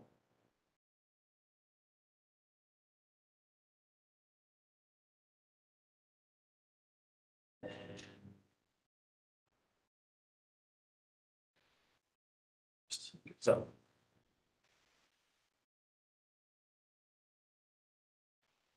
Spring. Um. One of the. Thinking about the addition guidelines that we're just looking at, right? So from, from the. From the front, I think it's um, significantly altering the appearance of the building. It, it, perspective is actually helpful. Um.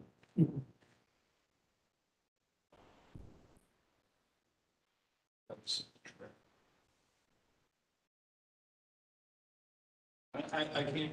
Um, try to go through step. I think that the one comment on there about the, about the hardscape materials. Yeah. They're removing chunk of paved walk out there, page sixty-five. Putting on a proposed terrace, that Tyree guard is still permeable, I think. Have an issue with that necessarily.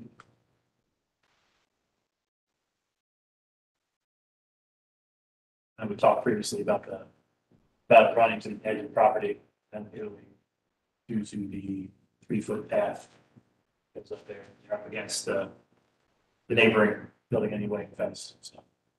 should be a deck.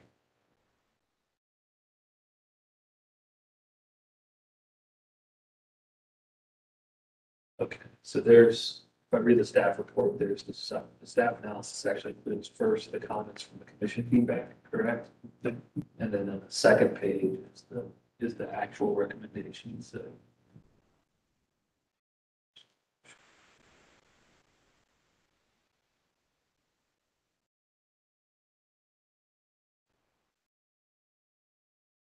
So the, the, what staff is recommending is something to divide that up into a little bit more bays.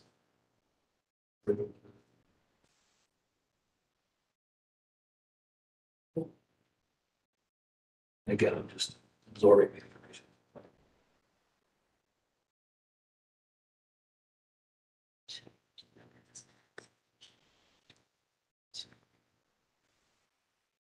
So there's something from the guidelines here, it says additions should be smaller than the historic building to which they are attached, the total size of all of the additions existing and proposed considered as a whole should not exceed the total size of the historic structure. The length and width and height of all additions considered as a whole should be less than that of the historic structure. Is the new building bigger than the historic structure with all that?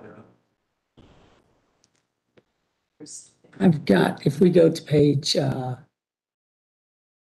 to scroll between the staff guidelines or the staff. Page sixty-five has the site notes on it, yes, states that the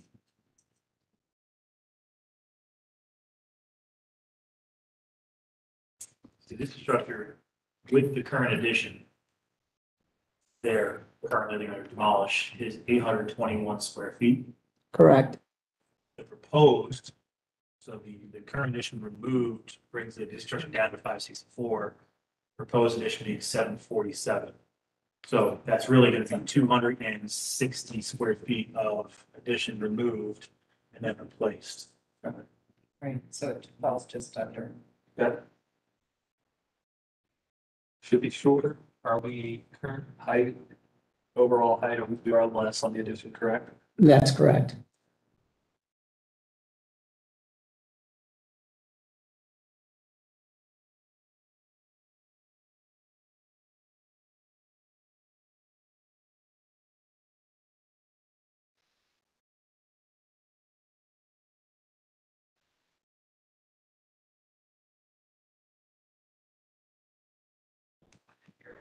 I'm sorry. Addition should be shorter than historic, lower than all height. The highest point of the building, addition should be lower than. okay. The addition should be narrower and shallower, shallower than the historic structure. This exterior wall should step in from the walls of the historic structure. The length of the addition should not exceed the length of the historic structure. Looks like we're not exceeding, correct? Three six. What is the existing structure length? We have. Looks like it might be longer. Well, I, I guess it's, if we look at, look up top, I guess, and I don't know that there's a dimension. I don't- So I, I, I guess when I'm looking at this, the existing structure as of it, as it is today is longer Gotcha, I see. Yep, because you're taking the addition off. because I'm taking that addition off, correct? And its roof appears to be the same. On the elevations. It just feels big. Yeah, if you go to page sixty-seven, Yeah, that's fair. look at the rear elevation, If you look at, see the difference. Just, yeah, on the line version, right, it doesn't quite. But this, this peak is the same as that peak. Right? Hmm. Because down below is lower. Yeah, if you look at those two elevations, On the next page. One sixty-eight. This one. It is. It's interesting. Staff has also included the sections, It is. the sections about connectors here. Yeah. When connected to a historic building, the connector should be reversible, so it can be removed. So we can't, this is our good friend Ned who's sitting in the back of the room, always talks about the walls being removed, but the walls were already removed. Um, in this condition, particular condition, and we've debated that. Um. That's an interesting piece.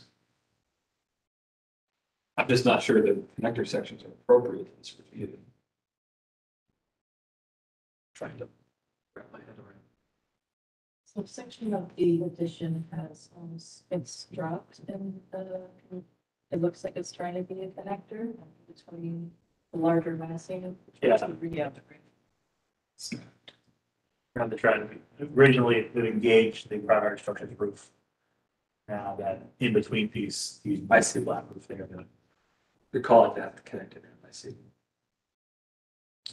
Do less than small stuff. It's connected, be short and lowest, it's connected to a historic building, the connector should be reversible, so it can removed.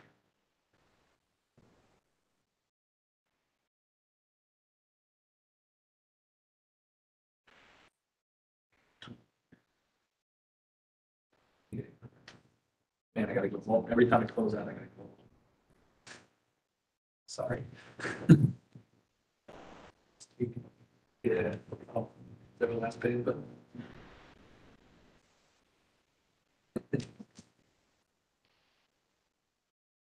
Okay. This is the. I, I mean, it's interesting. In elevation, it reads as a connector, but in plan, it doesn't. It reads as just an addition, right? So that's the question.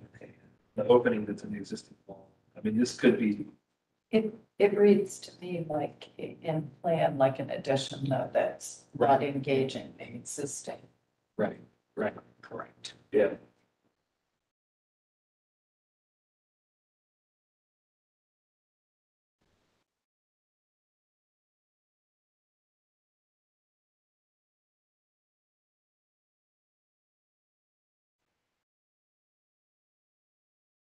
And see, where, where's your head?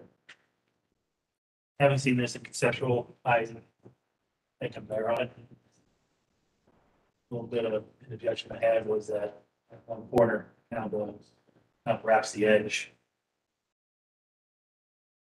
But I think all else being equal with the lot, how far back it is. I mean, having the setbacks, the roof changes. My opinion, I think. Yeah, I'm having trouble looking at those, those two side elevations. But remembering that to such detail because they're not visible that way. Because when you look at them, they're just not. right, um,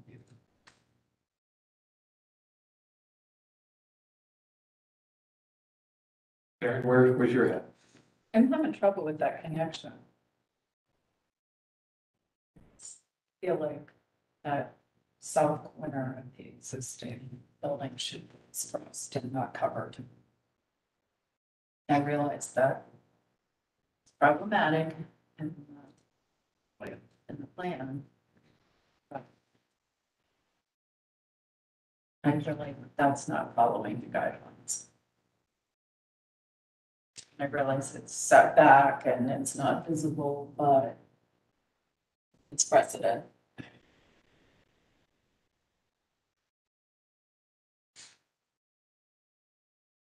Tell them to decide that. Yes, you are. Pressure's on. I better consider. Can I borrow your guidance? Sorry to take so long. Oh. No worries. I In this situation, I appreciate with it. these three votes, I want to make sure I get it all. for you.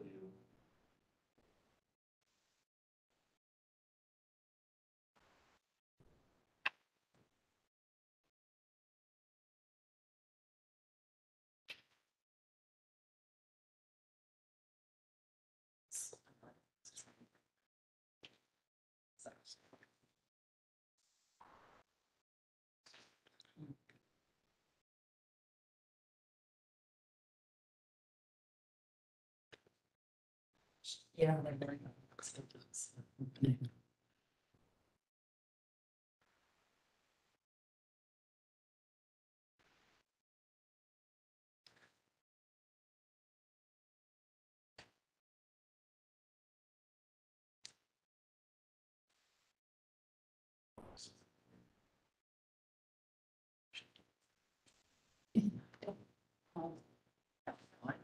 I, in house, that's administration, that. There's a door, but nothing, stairs, windows, you know. So I guess from a architectural perspective, that corner is, if it is a sticking point, there any ability to add six inches on to get a little bit off the back of the building, then come south? Is that a possibility architecturally to make that work? If, if that becomes the, the deciding factor. Can we, can we go back to the, to the, look at the Go back to plan? page sixty-six.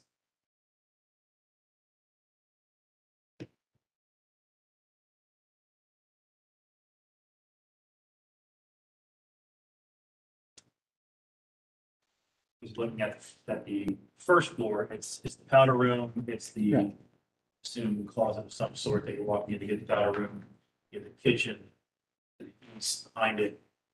Looks like the kitchen's trying to line up with the dining area. It's my question is to that, the whole section basically is shift. a Couple inches, enough to get that little corner piece, not engage the side of the building, but to come behind it. On the, on the, uh, Can we talk about the maintenance and tuckpointing that would be required for that nook? Like, I know when we talked about the, the zoning setback, you needed three feet to be able to, you know, if there was a fire and whatnot. But now if we're setting this piece awkwardly, like, don't we run a risk that we destabilize the brick that's there and how do we maintain it? Brick itself, first floor right now, wraps the corner currently, and then when you get up to the second floor, you have brick that runs into the building. How would we maintain that exterior brick if we cut this little, like, how are people gonna maintain?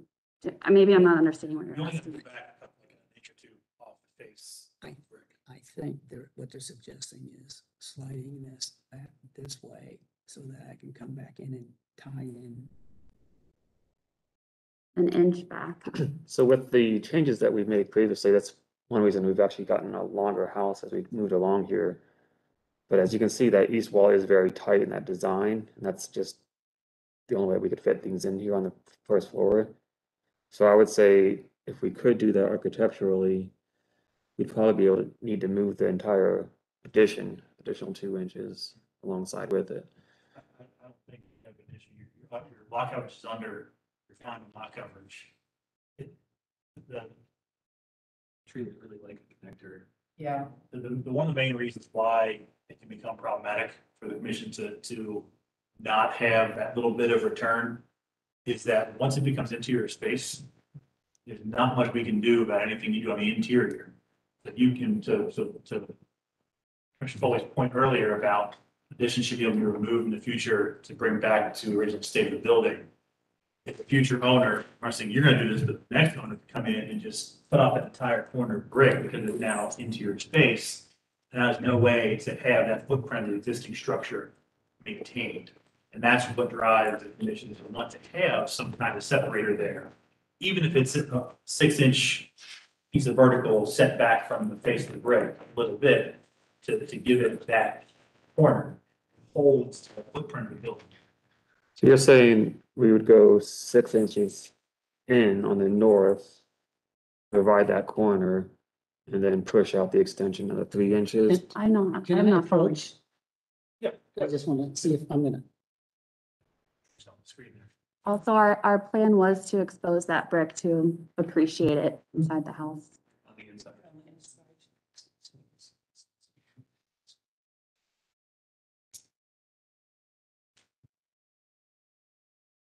Mm-hmm. That's it. Yeah, that, that, that I think makes the entire conversation a moot point. It would definitely get you the end of the table there, vote. I can that over here? Sure. I'm just trying to make sure it's not gonna be a, a potential, or I'm trying to find you like guaranteed. Yes. Move this back. and-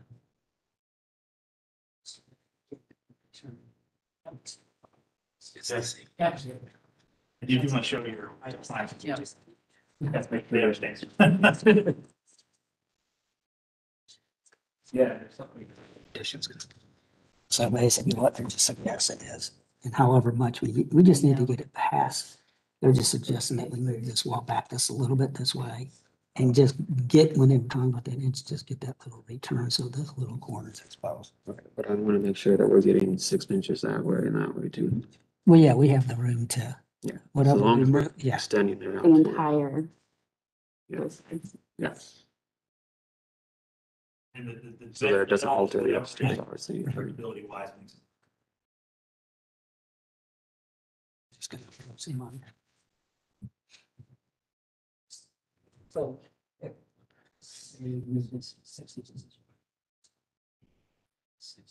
Yeah, I think, I think both things. It just, that just gives that ability to get that return in there. Whole conversation becomes fun. It's great. We're okay with that. That, That's the kind of stuff that comes up during the actual, not just have to see the actual drawing, you see the final product. And That's what these things come up. Yeah. Um, as long as we can maintain that footprint, we're okay with it. Jacqueline? If we, if we vote to approve this, you want to take a look at that and see what we're saying, so we can just have that go to staff. I just make sure you understand what it is when it comes to you. We'll have to officially have that within the application, right?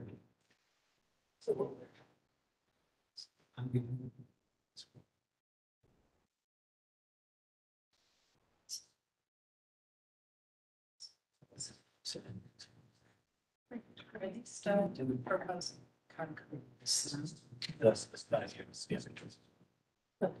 I did type this. You mentioned some- That's what I said. And I.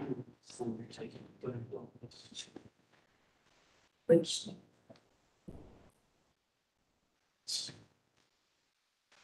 But. what was the- Those birds. That's true. I think. We have a conversation about the pervious versus impervious of the patio being at the back of. My opinion, again, it's just my opinion, there's a lot of impervious surface in this lot, not a very long lot. Taking away some brick, some deck, which is technically impervious to a certain extent. Um, But to me, the amount going in that's impervious, minimal to the overalls. That's up to you all. I disagree with that. I think that, um, you know, we're not, we, we don't typically approve any concrete slabs like that. We ask that all new paving be impervious. Now, you can have big, you can have big slabs of concrete that's laid on aggregate with, you know, joint spacings in between them. Well, what that about, have sorry, go ahead. you know, that are more like a stepper or something of that sort, but we do not approve the one big, you know, contiguous slab of concrete. Frank, like, what's your thoughts on that? I'm trying to close that opinion. Um, I'm there on the vision, by the way, with that, with that change. I like the fifth guidelines, I can't see the reason not to be. Um, So Anthony, you're saying that you feel the amount when you remove because there's that current patio that's being removed, and now there's just a walk all the way back. You feel like there's less pervious surface overall? I'm not saying there's less pervious, impervious, I'm sorry. I'm not saying there's less impervious. Just saying the amount of impervious going in minimal to the overall lot size. You know, to me, it's akin to that putting a drive and that's kind of how I would play it off is. it's- Has the application of the not using impervious, has that been based on guidelines or standards or just on practice of the commission? Good practice. Practice. Okay with it. Two, four, two, four. Any other questions about the application? No, but thank you for bearing with us. I think that, would you like to amend your application? Move the building, was it six inches? In my opinion, it's what's ever needed to make that work construction wise. It's six, eight, four, ten. I think it's a constructability issue, in my opinion. We're saying, yes, we're gonna amend the application. Yes. We're going to amend it and also move the back of the house, however much we have to move for the front constructability. to make the space work. Okay, with that, I would like to motion to approve GV two one zero seven zero four seven ten fifty Jaeger Street as amended. Second. Any questions on the motion? All those in favor? Aye. Against? Based on the confidence level. Let's have it, motion passes. Thank you. you. Thank you. Short, shorthand. We'll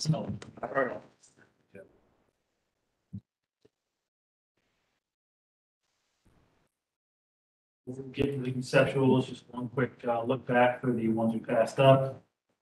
Item three, five oh eight South Third Street. Item four, one two three East Deshler.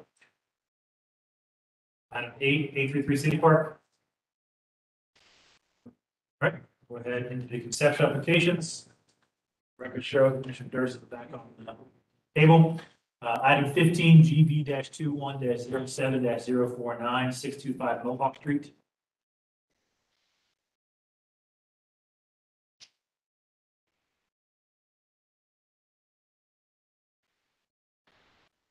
Please raise your right hand. Welcome back. Swear to tell the truth, the whole truth, and the truth. I do. William Hugus, architect. Anywhere, I've been living here since. Yeah, brewery had our first meeting here last week. Conceptual, it's for new construction. It's the app. Story frame. Uh, Coverage and side yard variance expected. Siding, uh, to be determined and trim with Marvin clad windows and doors, um, also proposed. So the June business meeting, the commission noted the fifty-four percent lot coverage concern, but noted that they can discuss at the meeting since this is a conceptual application. Jim, before we get into this, uh, apologize, we're short staffed, so you don't have the full voice. the. The purpose uh, tonight submittal, uh, the addition is a very simple structure and we're using the kitchen as a connector, visual connector to the original cottage. But I wanted to get a read on the lot coverage issue. Specifically, I know the, the maximum is fifty percent. Historically, I think we've gone up to around fifty-three percent. I don't know whether that's totally accurate, but um, so once we started exceeding that, I got a little concerned before we submit to BZA for any variances. That's where we are. Uh, the purpose of this addition is to shift the living room to the rear of the property and reuse the front living room and convert it to a master bedroom suite. The wife has had some um, mobility issues and this is a long-term kind of solution for them. Typically, my question would be, I'm looking at the Sanborn map. Jacqueline, is this the fifty-one Sanborn map that we're showing? Doesn't have a date on it. two. It probably is, can you go to page two? Looks. Looks like the newer one. The reason I asked it, was trying to make sure that, that the addition that we're showing on page one, which is the current Ogden site, showing addition that's bigger than that porch that's shown on the same, so we're, So was that an applicant submitted anywhere? Uh, Mr. Hughes, do you know what the date of it was, if so? Of the same format? Well, I have a fifty-one that doesn't, doesn't show any where the kitchen currently is, which seems odd to me, frankly. Not that they're always hundred percent correct. I'm just trying to establish that what is there is most likely not the original addition. It's been, and if it is, it's been severely altered. It's now one large room. Traditionally, these were uh, rooms with a side cold room and a side porch. And none of that is there. So if you look at the eighteen ninety-one map,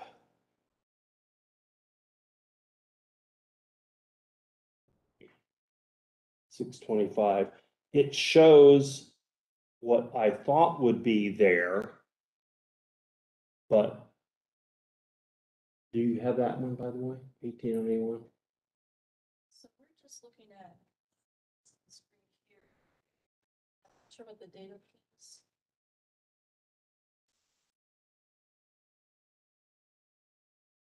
Does that match one of the ones that you're looking at? And the nineteen twenty-five doesn't show it either, or nineteen twenty-one doesn't show it, which confuses me. I suspect the Sanborns are wrong. I know it's hard to believe. But, um, just the roof line of the kitchen, to me, looks fairly old. But the siding, they've enclosed the porch, they've changed all the windows on it. Leads me to believe it's, it's old, but it's not necessarily original.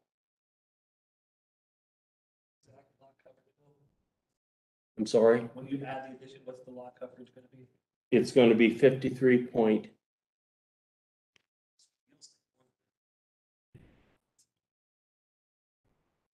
uh, no, we had, I had, I adjusted, uh, to get the numbers down below fifty-four percent.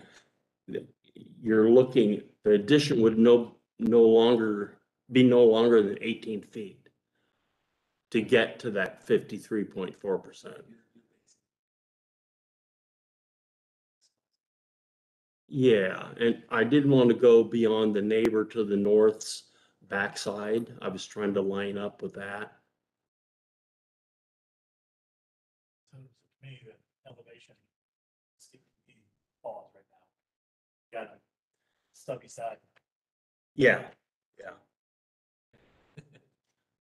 The house to the south has a big pergola, very long. It doesn't show up here, but Not matching height either. You're doing the thing that some of us don't think is a no-no, half round on a vertical cut. Rector tail on your stubby side. Uh, this is conceptual, I, I know, I know, I'm just saying. To get that short. When Mr. Panzer was here, he would always knock me on my, using my OGs on a flat side. Just pointing out that the, Yeah, the downstream things that. Yeah, I mean, it's, it's a little, that, that elevation is a little.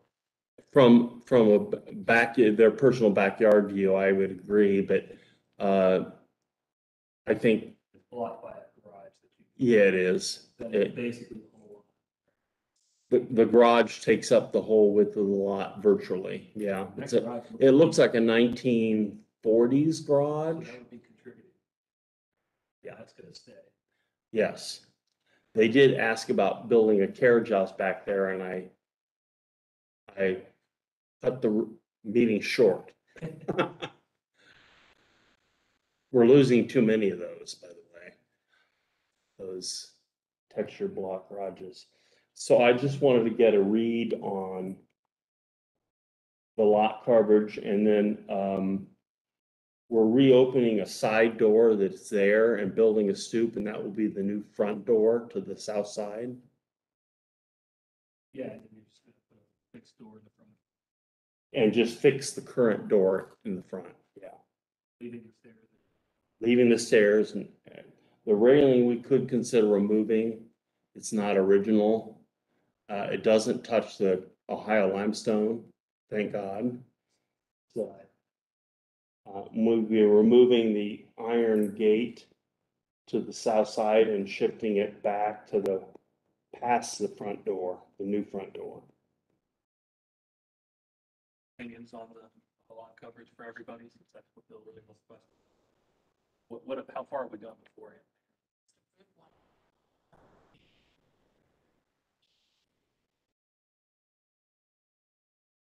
We, we could probably squeeze it, the addition down to sixteen eight if you really want to crunch numbers, but I'm, it's not gonna get us to the fifty percent. It's that simple. Um, the only, to reduce lot coverage for any semblance of real addition on this thing would be to go up on the current addition, but then you're gonna run into all kinds of root problems with small cottage. Yeah, I think the, the small cottage is really what's the, the mitigating factor to me of this. Small lot too. I think we've. Yeah, I think we've had. Let's say, we've allowed it in the past to go, to creep above that fifty percent on things that.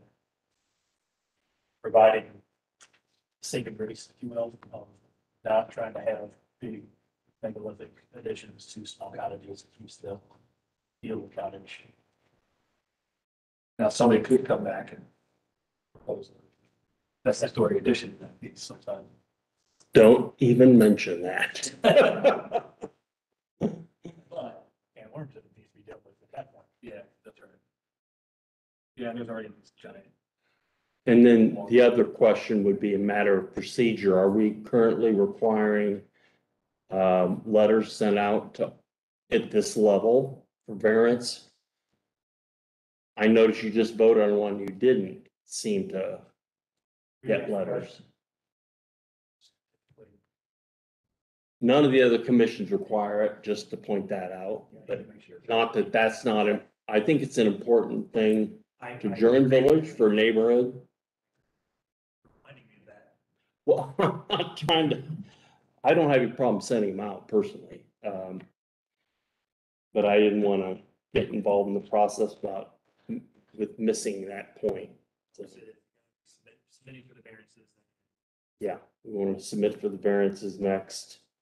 And we'd certainly be back for another review of this, of course. Um, Just so you know, building department, we have been uh, reviewed with uh, Christine Lead. And once you trigger one variance, they try to mop up with all the other ones that none of these buildings conform with, so the list might get a little long, but it's all about side yards and crap like that. Existing.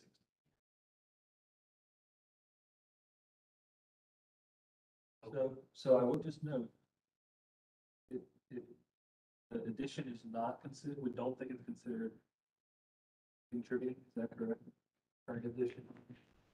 It'd be a little more, little more due diligence, Sanborn's, department, and I don't think it is based upon the Sanborn provided. Yeah, based on the Sanborns, I, I'm not sure it is technically, but it is older. Just note that the detail is very similar proposed, that's the one where I was going with my initial question. Oh, I just lost it. There you go. If, if, if, if we just had them push back on the. line application, so. Then on, on the other side, it would be continuing down wall in line with that side. If, if we, it's turned out this is a historic addition. Want to take the whole thing and just nudge it down and give that facade deviation, Mhm. and then give the return on the other side to make it read different. Not contributing. Yeah, so. Okay.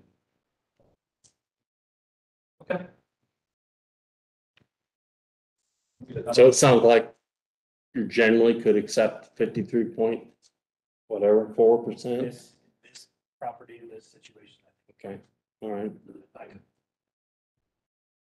That was the biggest issue at this. I would warn you that there may be more commissioners, commissioners next time. you come. That weren't represented. So, Well, Mr. Thiel's back on the commission by the time this, he, he lives right across the street, so he still has to recuse himself. Yes, that's. so there might be one more. City council is on this. So is Mr. Fairgill still on Yeah, commission? well, so. We're waiting city uh, council. ratification. Yeah, brewery, we're down to four. We're waiting on three. Yeah, It's awful.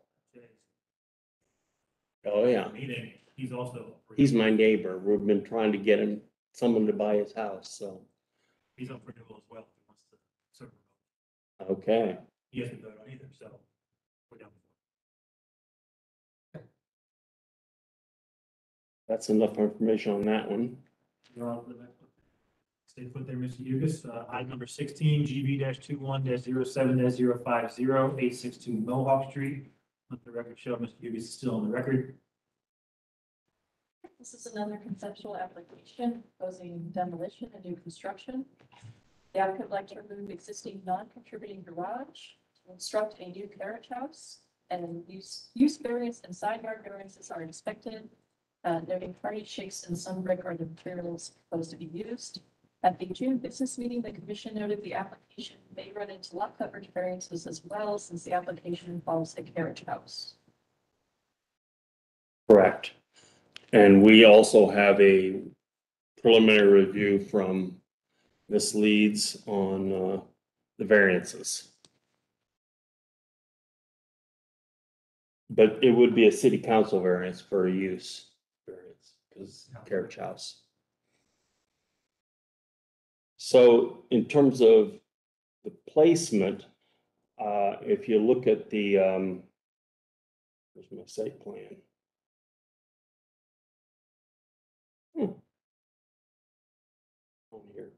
Um, I'm trying to line up generally with the flanking houses. One is historic to the south.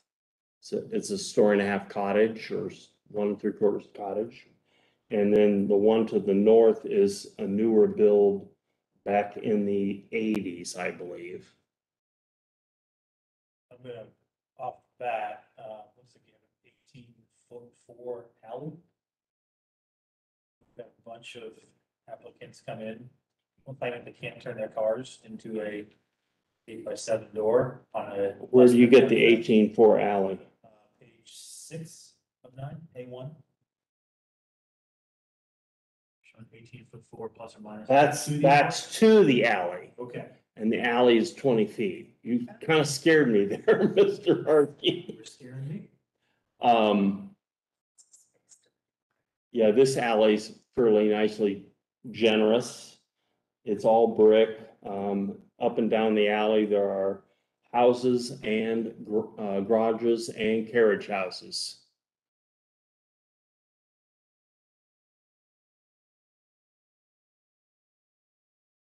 So we have a pretty good turning radius. In that case. The owners have lived here, it's Michael Cornelius and his wife, Susan Riley. They want a workout facility and guest area for their own purposes. If you look on the floor plans, you can see. Work out there and then they're gonna pull down. Get there. Yeah. Um, I think I was trying to, uh, reduce the scale along Macon by proposing, uh, like a, a brick wall, uh, that would hide a balcony and then put the two-story behind that. The main house is a combination of brick, probably was a, a cottage at one time that got expanded vertically. And it's got shakes on it. And I was proposing a, a shake material for the main carriage house. Um, oh, I didn't do a side elevation. It would literally be a, s- like a screen wall. Let me see if I can, I can kind of see what you're proposing. this is a previous.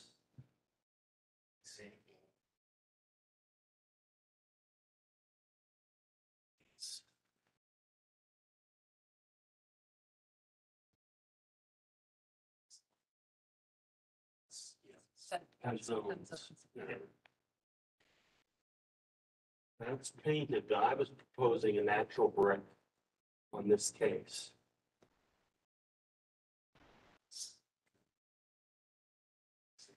Ten years ago.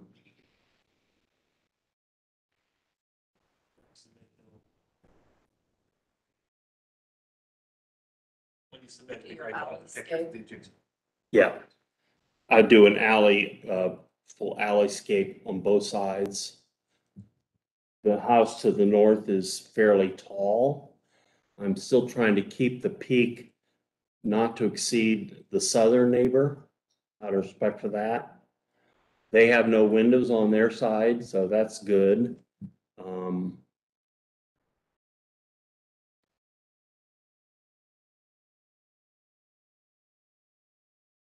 backside, they want some kind of balcony space.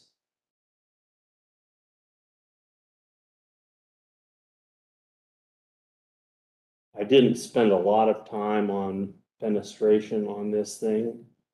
Uh, we want to apply to the city council and have to get that started, so the purpose is to get a feel for um, the footprint and scale of this thing, so we can define variances. You're doing the same kind of no garage first floor, setback second floor, uh, over on Beck down the street from uh, Lindey's from that corner. Mhm. Yeah. I think there's one more I saw alley. Somewhere over by in Grand Jackson area, Beck area. Rock hours do something smaller. Excellent. I would just recommend, if you get a chance to hop around, take a look at those styles. See, we have some examples of what they are. Mhm. Get a feel for what the context and stuff, that's architectural, yeah, language you want to maintain the village. It's going to be growing. If, if we like it, maybe potential solution to some of the carriage houses, those become more popular. Yeah. If we don't think it's appropriate or whatever, I think we have a couple good test cases to look at. I had proposed a flat roof, more contemporary solution, but the clients really wanted to stick a little more traditional. Their roof line is gable roof on the main house. Um, So we wanted to pick that up and then pick up their materials. Looks like, yeah, looks like your standpoint, some buildings, right? Yeah. Yeah. The only question is, did you calculate lot coverage? I have not, no. Now, in a strict sense, the way we had been doing it, this wouldn't exceed the fifty percent, but you still have a use variance, so they get into a, at zoning, they get into a question of how you define that. Evidently, there's a provision in the zoning code that hasn't been used for many years, to my knowledge.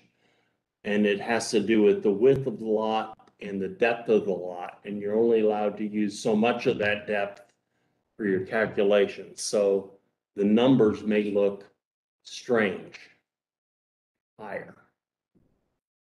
Do you understand? Yeah. So these bowling alley lots can only use a certain amount of depth depending on their width.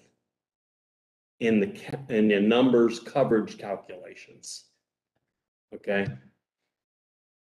And that's fairly new development. We hadn't, we hadn't been enforcing it evidently for years. But new staff, new uh, outlooks. With the, with the narrowness of the lot, basically. It becomes an issue. Trying to put two, two Yeah. in there. So the commission can consider this stuff too. It's- value to garage doors. And we will be reviewing with both neighbors flanking the carriage house plans before we come back.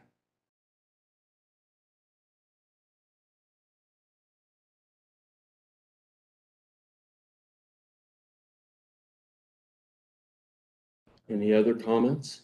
So the general direction massing is looking decent? Okay. I think it's, I think it's kept pretty simple, from what I'm seeing. I'm, I'm blind, I can't see anything. That's the front, that's the main house. The house for this. Mm-hmm. Okay. Yeah.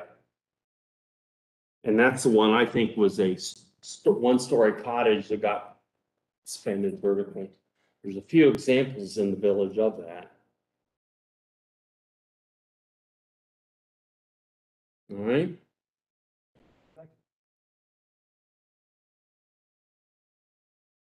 Okay, okay, thank you very much. Appreciate it. Uh, on item number seventeen, GV dash two one dash zero seven dash zero five one, three three three East Beck Street. Please raise your right hand. Swear to tell the truth, the whole truth, and the truth. Name for the record, Michael Moran. sir, Jacqueline. This is a application involving exterior alterations, new construction.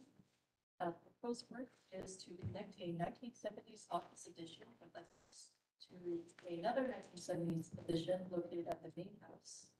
Uh, they would the existing door or the structures are connected. So the application was previously reviewed as a conceptual in two thousand sixteen, and the applicant noticed the commission at that time was favorable towards the concept as this would be a modification of the non, of non-historic additions. It would not be modifying the original structure of the house.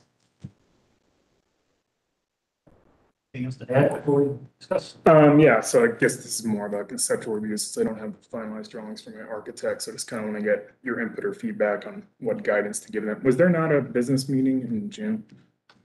Was, a couple weeks ago. Okay, I reached out about it, but I didn't get a response and uh, was hoping to get this done then so I could have the actual drawings for you today. Um, do you have the pictures, like some of the historic pictures on file? They were given to me, I can't remember if it was, it might have been two thousand seventeen when I did the kind of real basic overview conceptual review. Seen them before. Okay, they might have emailed them to me, but I couldn't find them. Um, the gist of it is this structure you're looking at and then that kind of pocket or cubbyhole. Neither of those are part of the original structure. So I think they were both done either nineteen seventy-five or nineteen seventy-six, um, going from memory.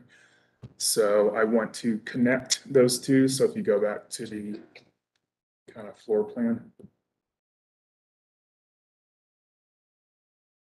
So if you see where it says, you know, half bath and then that area that's open, connect those where you see that door would be moved to the outside, so the structure would become an L shape instead of having that pocket. And then just have the roof that's on the, the office currently, just go into the, the main roof, which is technically, an- it's an addition that was extended off the, the main roof of the cottage in the seventies. So it's still have crossing.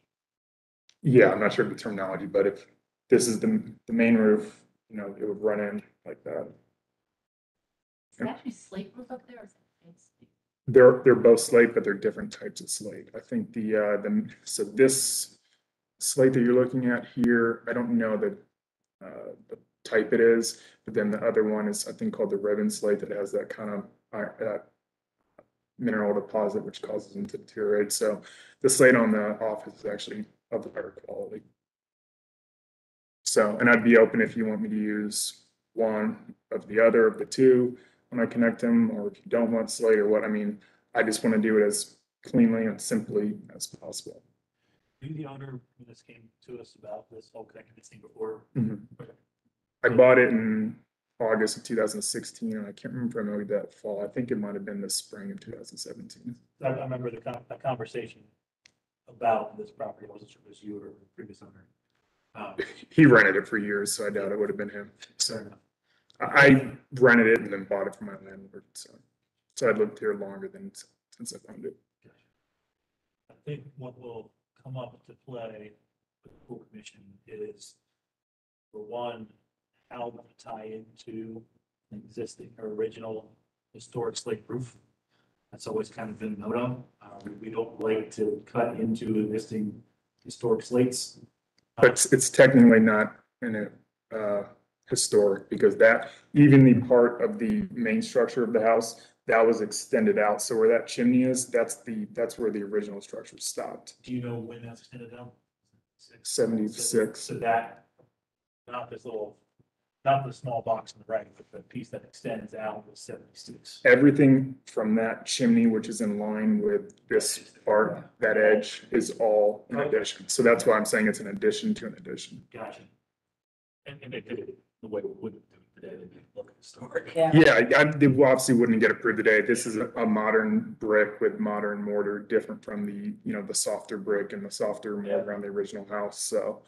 And I wouldn't be doing any brick. I would want, you know, mostly windows in that connection, and then either a door would be on the same, uh, face where that, uh, the, the office is to open onto that patio area, or I could eliminate the door altogether, whichever you want. Right now, the, the house has four doors, which is kind of a lot for the, you know, amount of square footage. The E on the office substantially lower than the E.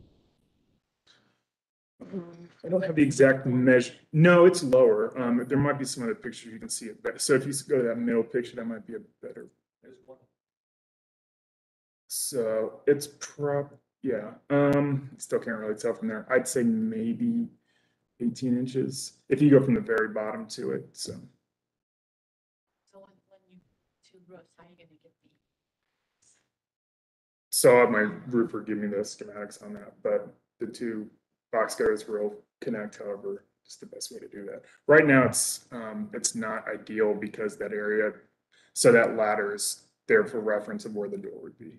Um, it collects water, there's, um, some of that, uh, whatever that, it's a composite particle type wood that they use on the siding, a lot of that's you know, has rot damage from collecting water and leaves over the years, so. Well, you can see on this picture how your, your roof just slopes right into there.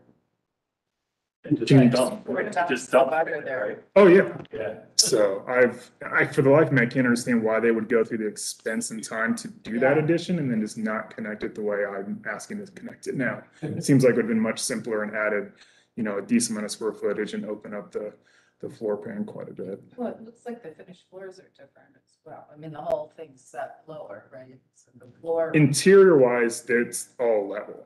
So that office is level with the entire house, yes. So, Yes, and that that is- would maintain the same.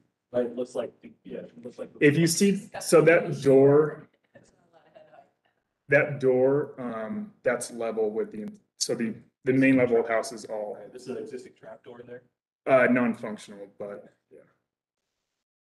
That So, was probably the, the whole, the basement entrance, the old basement entrance. yeah, there, I think there might have been a cold chute somewhere else too, but, um, yeah. So that would actually become, right now, that's non, it's not being used. That would become interior space, but I would actually have a trap door out of the floor, which would become my entrance to the basement right now. So, but actually using the original layout of the basement where it's not currently. Yeah, it's my biggest frustration with the house and what I've always wanted to change since I bought it, but you know, it's just time and money getting by.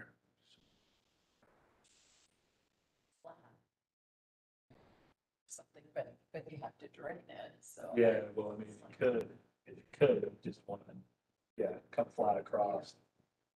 But I don't know how you. It would be such an awkward Yeah. connection between the two. That's why I think just, Worse than it is. yeah. And, and I'm open to if you want me to run the exact same roof line off the office into it, or if you want me to have it step down a little bit to where it's like under where the current, you know, soffit or fascia is. So it's clear to, you know, delineate between, you Yeah, know, but when the they're addition was the addition. Yes. So given discussion, I guess. uh, When you put in a new wall in the back of the historic structure, would you be able to recess it a little bit so the corner, the historic corner? Yeah, I could do that. Yeah, I'm, pl- I would like to just have, uh, windows off where that historic structure is, but yeah, I can clearly show that it wasn't, you know, it's different from the original. Yeah, I guess from the office, it could probably be flush since it's not historic. Mhm.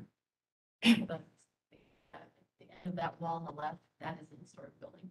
Yes. So yeah, if you want me to put it in a couple inches or something, yeah, totally. So this wall is wood framed on the inside, Mhm. and this is all wood framed? Yeah. I'll break right here, right? On this side. Um, yes, but actually, but it was modified at some point, so. Probably.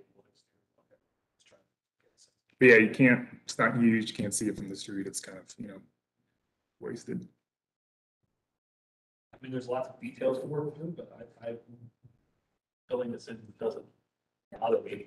Okay, I- to me, it just makes so much more sense than what's there currently, and I, again, I obviously wasn't around when they did it, wasn't even alive, but um, I can't understand why they went through what they did to do that.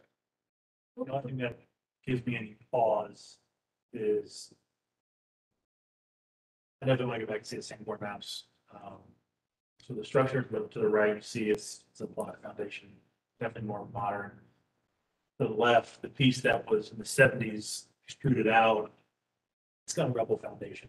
So probably a porch or something, which it might as well, might, could. could- And you can see there's a clear line where they extended it at some point. So, because at one point there was nothing beyond that wall. Like, I think, you know, So you think that rubble stone that's extended was? it looks different than the, it looks different than if, from the stuff, from it on the left. You can kind of see the line. Yeah, there's vertical differentiation. I mean, We Really, we're trying to make it look. Mhm. Well, but or maybe that was a historic fourth edition and then it was closed at some point. I mean, at one point there was literally Nothing. no structure there, then another time in the, On the same. there was like something that was one story, and then in the seventies, they raised it, made it two stories and connected them, so there's been lots of modifications done to that.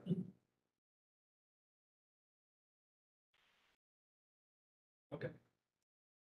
So key points I should ask my architect to address when I have the final drawings. Are you okay with me doing slate to slate? How do you? It would be, it would be great to figure out a way. You could, he or she could, to, to, to make it clear. That this is new, Mhm. right, what you're doing.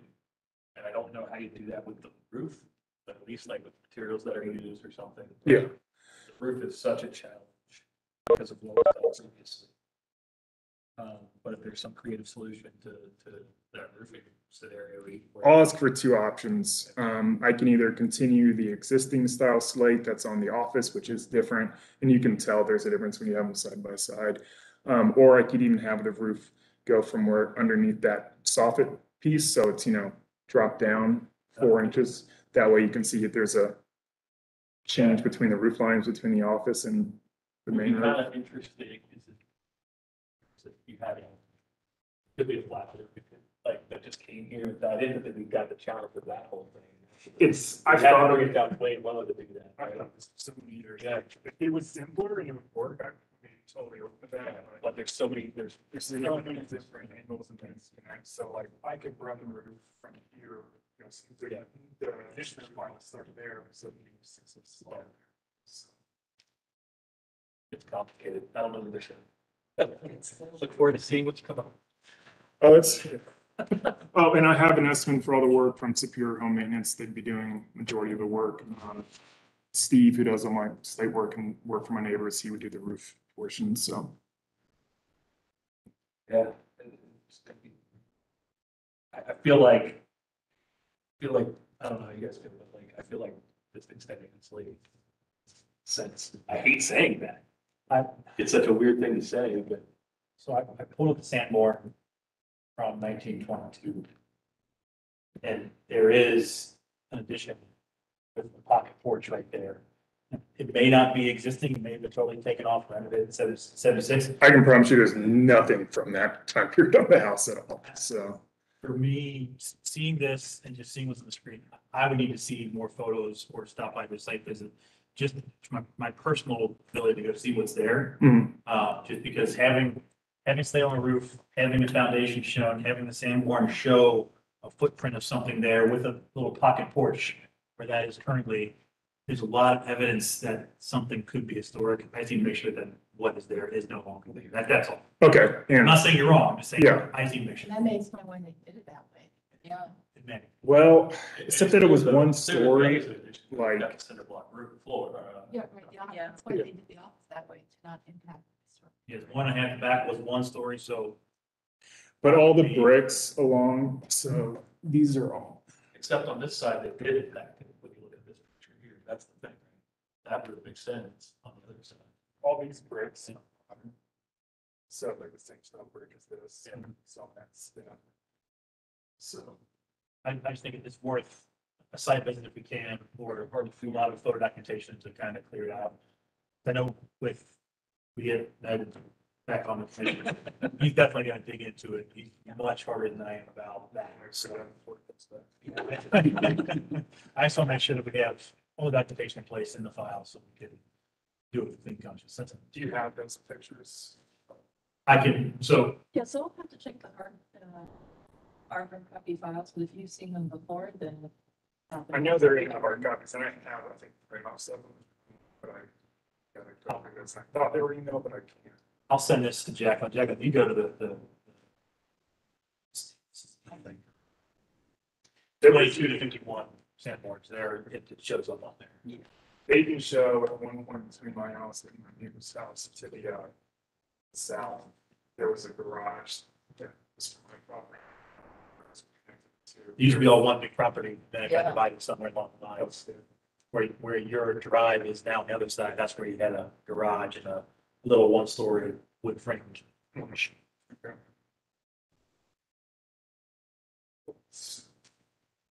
I said, I'm not saying it's not. It's not not original, this thing could be, we've got to make sure we get. the hmm. information.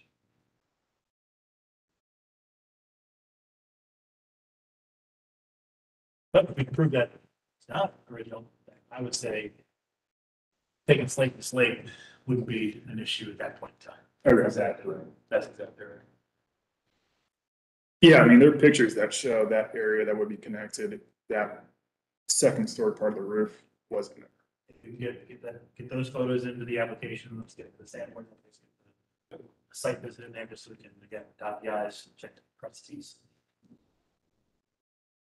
Um, and then, okay, so just continuation on this, I'll submit for them. Do I have to wait till the next official meeting, or if I get it by the business meeting date, the drawings, can I do it then?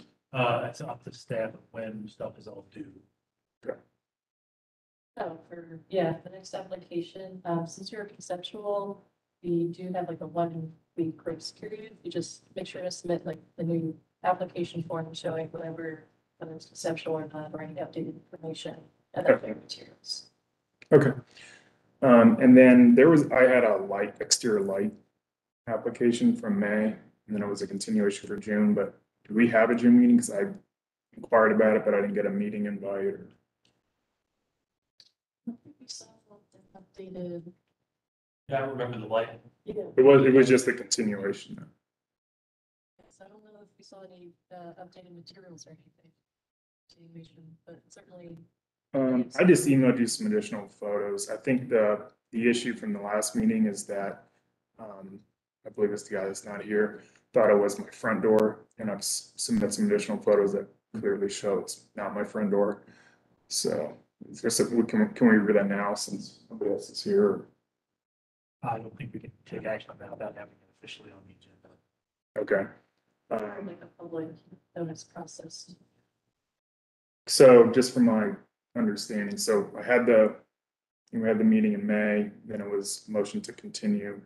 But I didn't know there was any additional amendments I had to make for continuation. So any, I don't remember what the, it was continued on, but any additional information or anything pertaining to that application, you just submit it to staff and then we can Okay. add it on as a continued application. Okay, so I just resubmit that for the next one? Yes, and then for a continued application, you don't have to do a whole new form if it was continued, you just submit any updated information. Okay. Then as far as getting out to the site to- to look and trying to make sure get it expedited. Do we need to have staff there as well, or can we just pop by and take a look if the applicants okay with that? Uh, let me double check on that, just because I haven't had a site visibility, well, I guess actually, we should give us some. Just walk your dog by. No. I mean, I know you guys are all my neighbors. You can come out at night if you want. so. Yeah, let me just confirm. What's that? Oh, you did? If you just- not go to the gym anymore? Sure. Uh, I got it.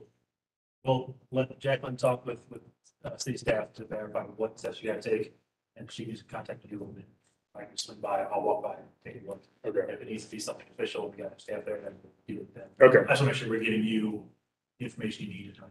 Sure. Okay, yeah, you'll have a much better feel for it when you see it in person, so. Um, Okay, yeah, other than that, it was just the lights. I just wanted to see if I could get those approved, but. Thanks for waiting so late. Yeah, it's there. Question is, we're just a line for German Village. And so there's, I have another example of a picture of a house that has the same style light on their front door. It's at like two oh eight Cosset or Cosset, however you say, it. it's like the, and uh, Jaeger. So it's like just north of where Giant Eagle used to be off Jaeger. That would be Schumacher. Is that Schumacher? Uh, Costa, if you're north of Jaeger. Well. uh, Well, it's north of- on Jaeger, but it's, the so if you're going north-south on West side Jaeger, or the east side of the street? I Well, think it's the Cosset. northeast corner. Or east, but definitely. I think it would be in German.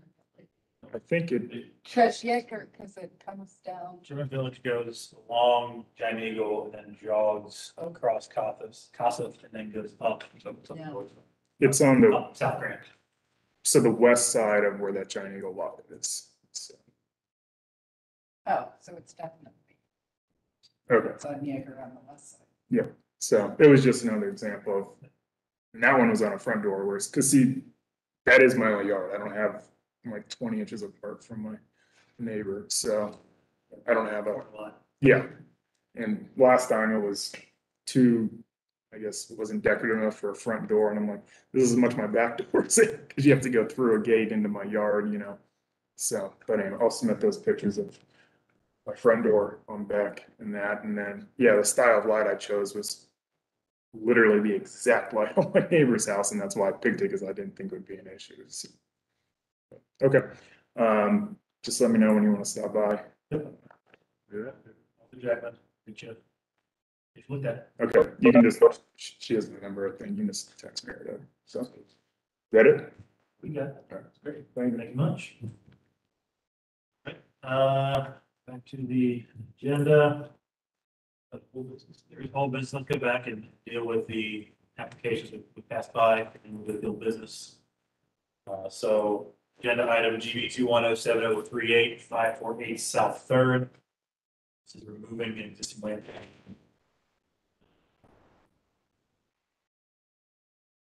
So we can take action on that, the applicant here. It's very similar to what we just approved, isn't it? Yeah, So the example ones are the similar approvals that we had for the were included towards the end of the application materials, just for comparison. Okay. One has the certificate of appropriate stamped on. it. Yes. And did we approve the one with the swoop or the one with the flat, or those are two different? There were two different, um, one fixtures that had been approved at that prior meeting, and those are both included. Got it, thank you.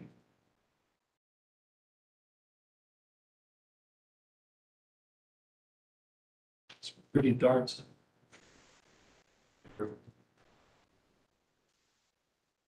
We talked about a little bit at the meeting, business meeting. Anybody have any qualms with, with uh, taking action on this item? I'm okay with it. All right, we'll call it the table then. Motion to approve GV two one zero seven zero three eight five four eight South Third Street as submitted. Second. Questions on the motion? Those in favor? Against? Aye. Let's have it. Uh, item four, GV two one dash zero seven zero three nine one two three East Deshler. This is, uh, porch fixtures that are hanging. This one, Jeff, I don't know if I remember correctly, we needed some feedback from, from the applicant about types of information. Yes, uh, I think, let me pull what I have here. Okay, so at the June business meeting, the commission asked for clarification on proposed locations for the two light fixtures and whether only one light fixture is proposed for installation and what that installation method would be, and whether the second light fixture will have be with opaque glass. Um, noting that the glass in the image appears opaque. So the applicant has clarified that they will be replacing the existing light fixture only, so just one. Uh, and they have provided those two options due to limited supplies for home improvement items at this time and the speed at which items are going out of stock. Uh, they did clarify that the second light fixture option does have a frosted, is described as frosted glass. So they believe it would be opaque rather than clear. Second one's a lot more big, a lot bigger. A Lot bigger. It's been a long night. It's a lot bigger than the first one, isn't it? Yeah, it's basically almost twice the length. And looking at the existing fixture, I mean, not that the existing fixture looks historic, it actually looks like it was probably. I, I have a little bit of problem of picking one of two options for application without an applicant here. Yeah. Yeah, I do Yeah, let's too. Just keep it, get it, get it clarified their applications more, So we needed to take a motion to table it. so it might help them with getting more product in stock. Motion to table GV two one zero seven zero three. Second. Questions on the motion? Favor? Aye. Against? Ayes have it. Item seven, eight oh one City Park. GV two one oh seven oh four one. To this one, you said the applicant said we could go ahead with it, they weren't here. Yes, um, and I, I explained to them that it, it could be voted on if the commission did not have any questions, or they thought it could be approved, but that if, um, the commission had questions, or they thought it might be denied, that they will probably, the action would probably be to continue. They're okay with that. This is wanting to have a dimensional shingle. We determined this is not on the approved shingles list, like the, the shingle, shingle type was not, but color was not, or both. Believe the shingle type is not, uh, as well, of course, with the color going along with that. Um, so the applicant is wanting to use that particular, so they were previously approved to use the shingle from the approved list, but they're interested in this alternate shingle based on their contractor recommendation. Their contractor told them that the TruDefinition duration shingle that they would like to use is superior to three tab shingles in durability. So that's why they're asking if that could be considered. Is this because, um, what's the slope of, is this only going on the addition in the back? Right, so it's that, uh, single story addition at the rear, the addition is not historic. But what's the slope of that roof? And I know if it's shallow. Just all shingles, great shallow. So I wonder if the duration, because it has a hundred thirty mile wind resistance, will Well- last longer on shallow slope. That is impeccable. I, I'll, I'll put this out there, that typically we, we would need to see it as a sample. While a lot of the, the, Yeah, so that, that was the applicant, we did have the sample at the German Village Meeting House. that gets sent to the tech. Saw it sent to me and you, I don't think it got forwarded on the rest of the commission. Did you guys hear about samples being? I remember seeing an email about I did. Okay. I know, yeah. Yeah, Steve, it was included like a couple of updates in one email. Came through last week, it's one that we get a chance to get there their holiday. My roofer told me once that dimensional shingle looks funny on a really shallow roof.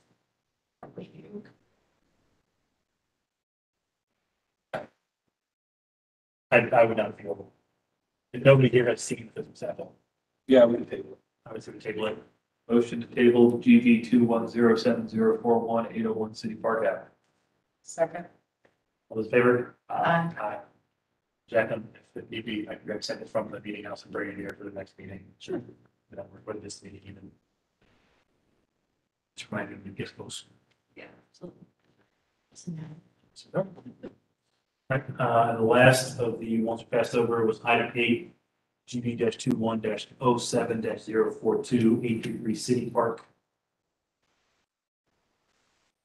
This one, removing slate. Placing with slate line. Yes, this applicant has updated a couple of things that were uh, a point of question uh, at the business meeting. So they have revised the gutters, which were previously proposed to replace the half rounds with OGK style, and they're now going to replace with the half round gutters. And There's a couple of other things. Oh, yes. So they are proposing the half round gutters and downspouts to have bare galvanized steel. And that is a change from the previously proposed black five inch K style gutters.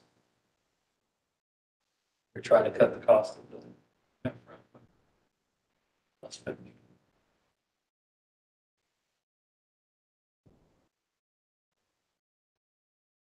The gutters currently match the trim and the downspout matches that parging uh, portion of the building.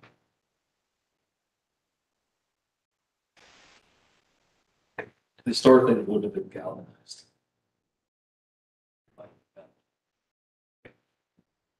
Okay. I see nice ones in the village. Yeah. And that were approved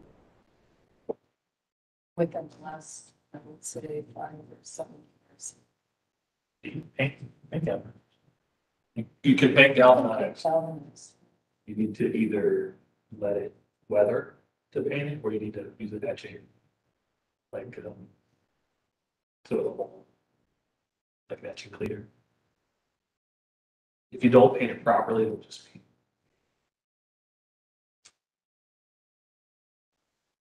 You can also factory finish. it. I've got paint steel. Yeah. You can factory finish big. They're, originally they had proposed replacing their half rounds they had currently with K style. Now they're going half rounds back to half rounds, just galvanized. That's correct, yes. That was, uh, it changed back to new apparatuses based on the commission staff feedback. Yeah, interesting. I don't know.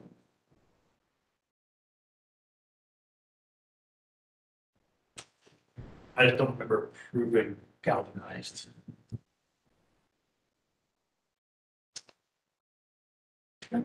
The house across the street from mine, and I know that renovation's been in the last. I haven't made memory of something moving galvanized. No.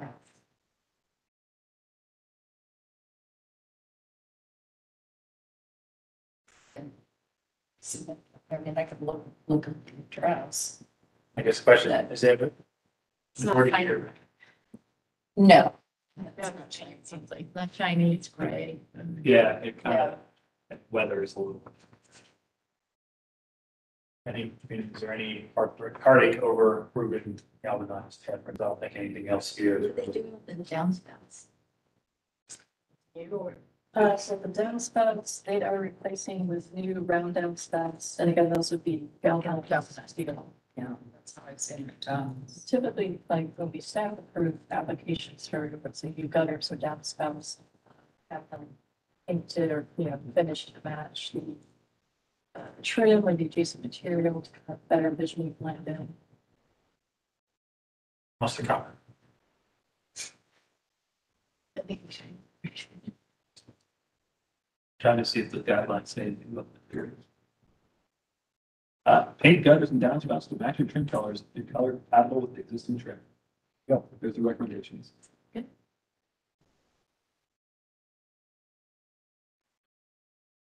Pretty clear. So I, I don't think we can vote on, based on that, I think we can vote on this application. Possibly say yes on that last bullet point. I don't think we can break their application forward without them being here to request a change. I don't think we need to continue. Yep. Motion to table GV two one zero seven zero four two eight three three City Park Act. Okay. Question of motion? All those in favor? Aye. Against? Seven. Jack, I just let them know that if they choose to paint it for the guidelines, we could just set up through. Yeah, uh, maybe possibly move it to staff equivalent. the This meeting. So, All right, uh, on to old business. Uh, GV two one oh five oh four zero seven eighty South Zell Street. So Commissioner Panzer. Commissioner, uh, Beal and I went out and did a staff, or site visit. Anybody else make it out there? Just us? It was just those two. Uh, so we talked about what could be done. They had proposed basically disassembling it piece by piece, and of laying everything and putting it back up, replacing all the structure. There was a fire in one third of the building at some point every time, and they kind of putted over it and painted it. Um, so kind of Ned and I are both of the same opinion of taking the structure down, is essentially that the demolishing, trying to put it back. Just, it would be, against the ethos of preservation. Um, so keeping it in sight, if you have to take a piece off here and there to replace it or to fix it. Okay? Um, the idea that came up was to create a whole new support structure within the footprint of the building inside. Um, so basically take a load off the structure. Um, what's happening, you see in all those pictures. The whole place was just pulled apart and cobbled together interior wise. Um, nothing interior is really historic anymore aside from the outer shell. Um, so they were going to go take a look at that method. Um, one, thing- one question came up there and then Ned had left is, what if they did true it up? Kind of leans here and there. And my response to them was, that's part of the language of the building. If you want to true it up and go to the efforts to do it, so be it. But if you build a structure, you're able to, to structurally support it, so it's not going to further deteriorate. If you want to leave that lean and everything in there, then we're not going to say you have to go back and fix it. I would agree. So that was kind of where we left the conversation. Um, Talked about footings, foundations along the perimeter. Anything to do is going to be covered up because of how the renovation needs to happen. The amount of work going on, the city will require thermal envelope to be heavily. So you're not going to see any of the beams and whatnot that's going to be supporting the structure. It's going to be basically walled in. Yeah. So that's the, what came out of that meeting. Nothing really to take action on. So whatever historic character and spec. All over.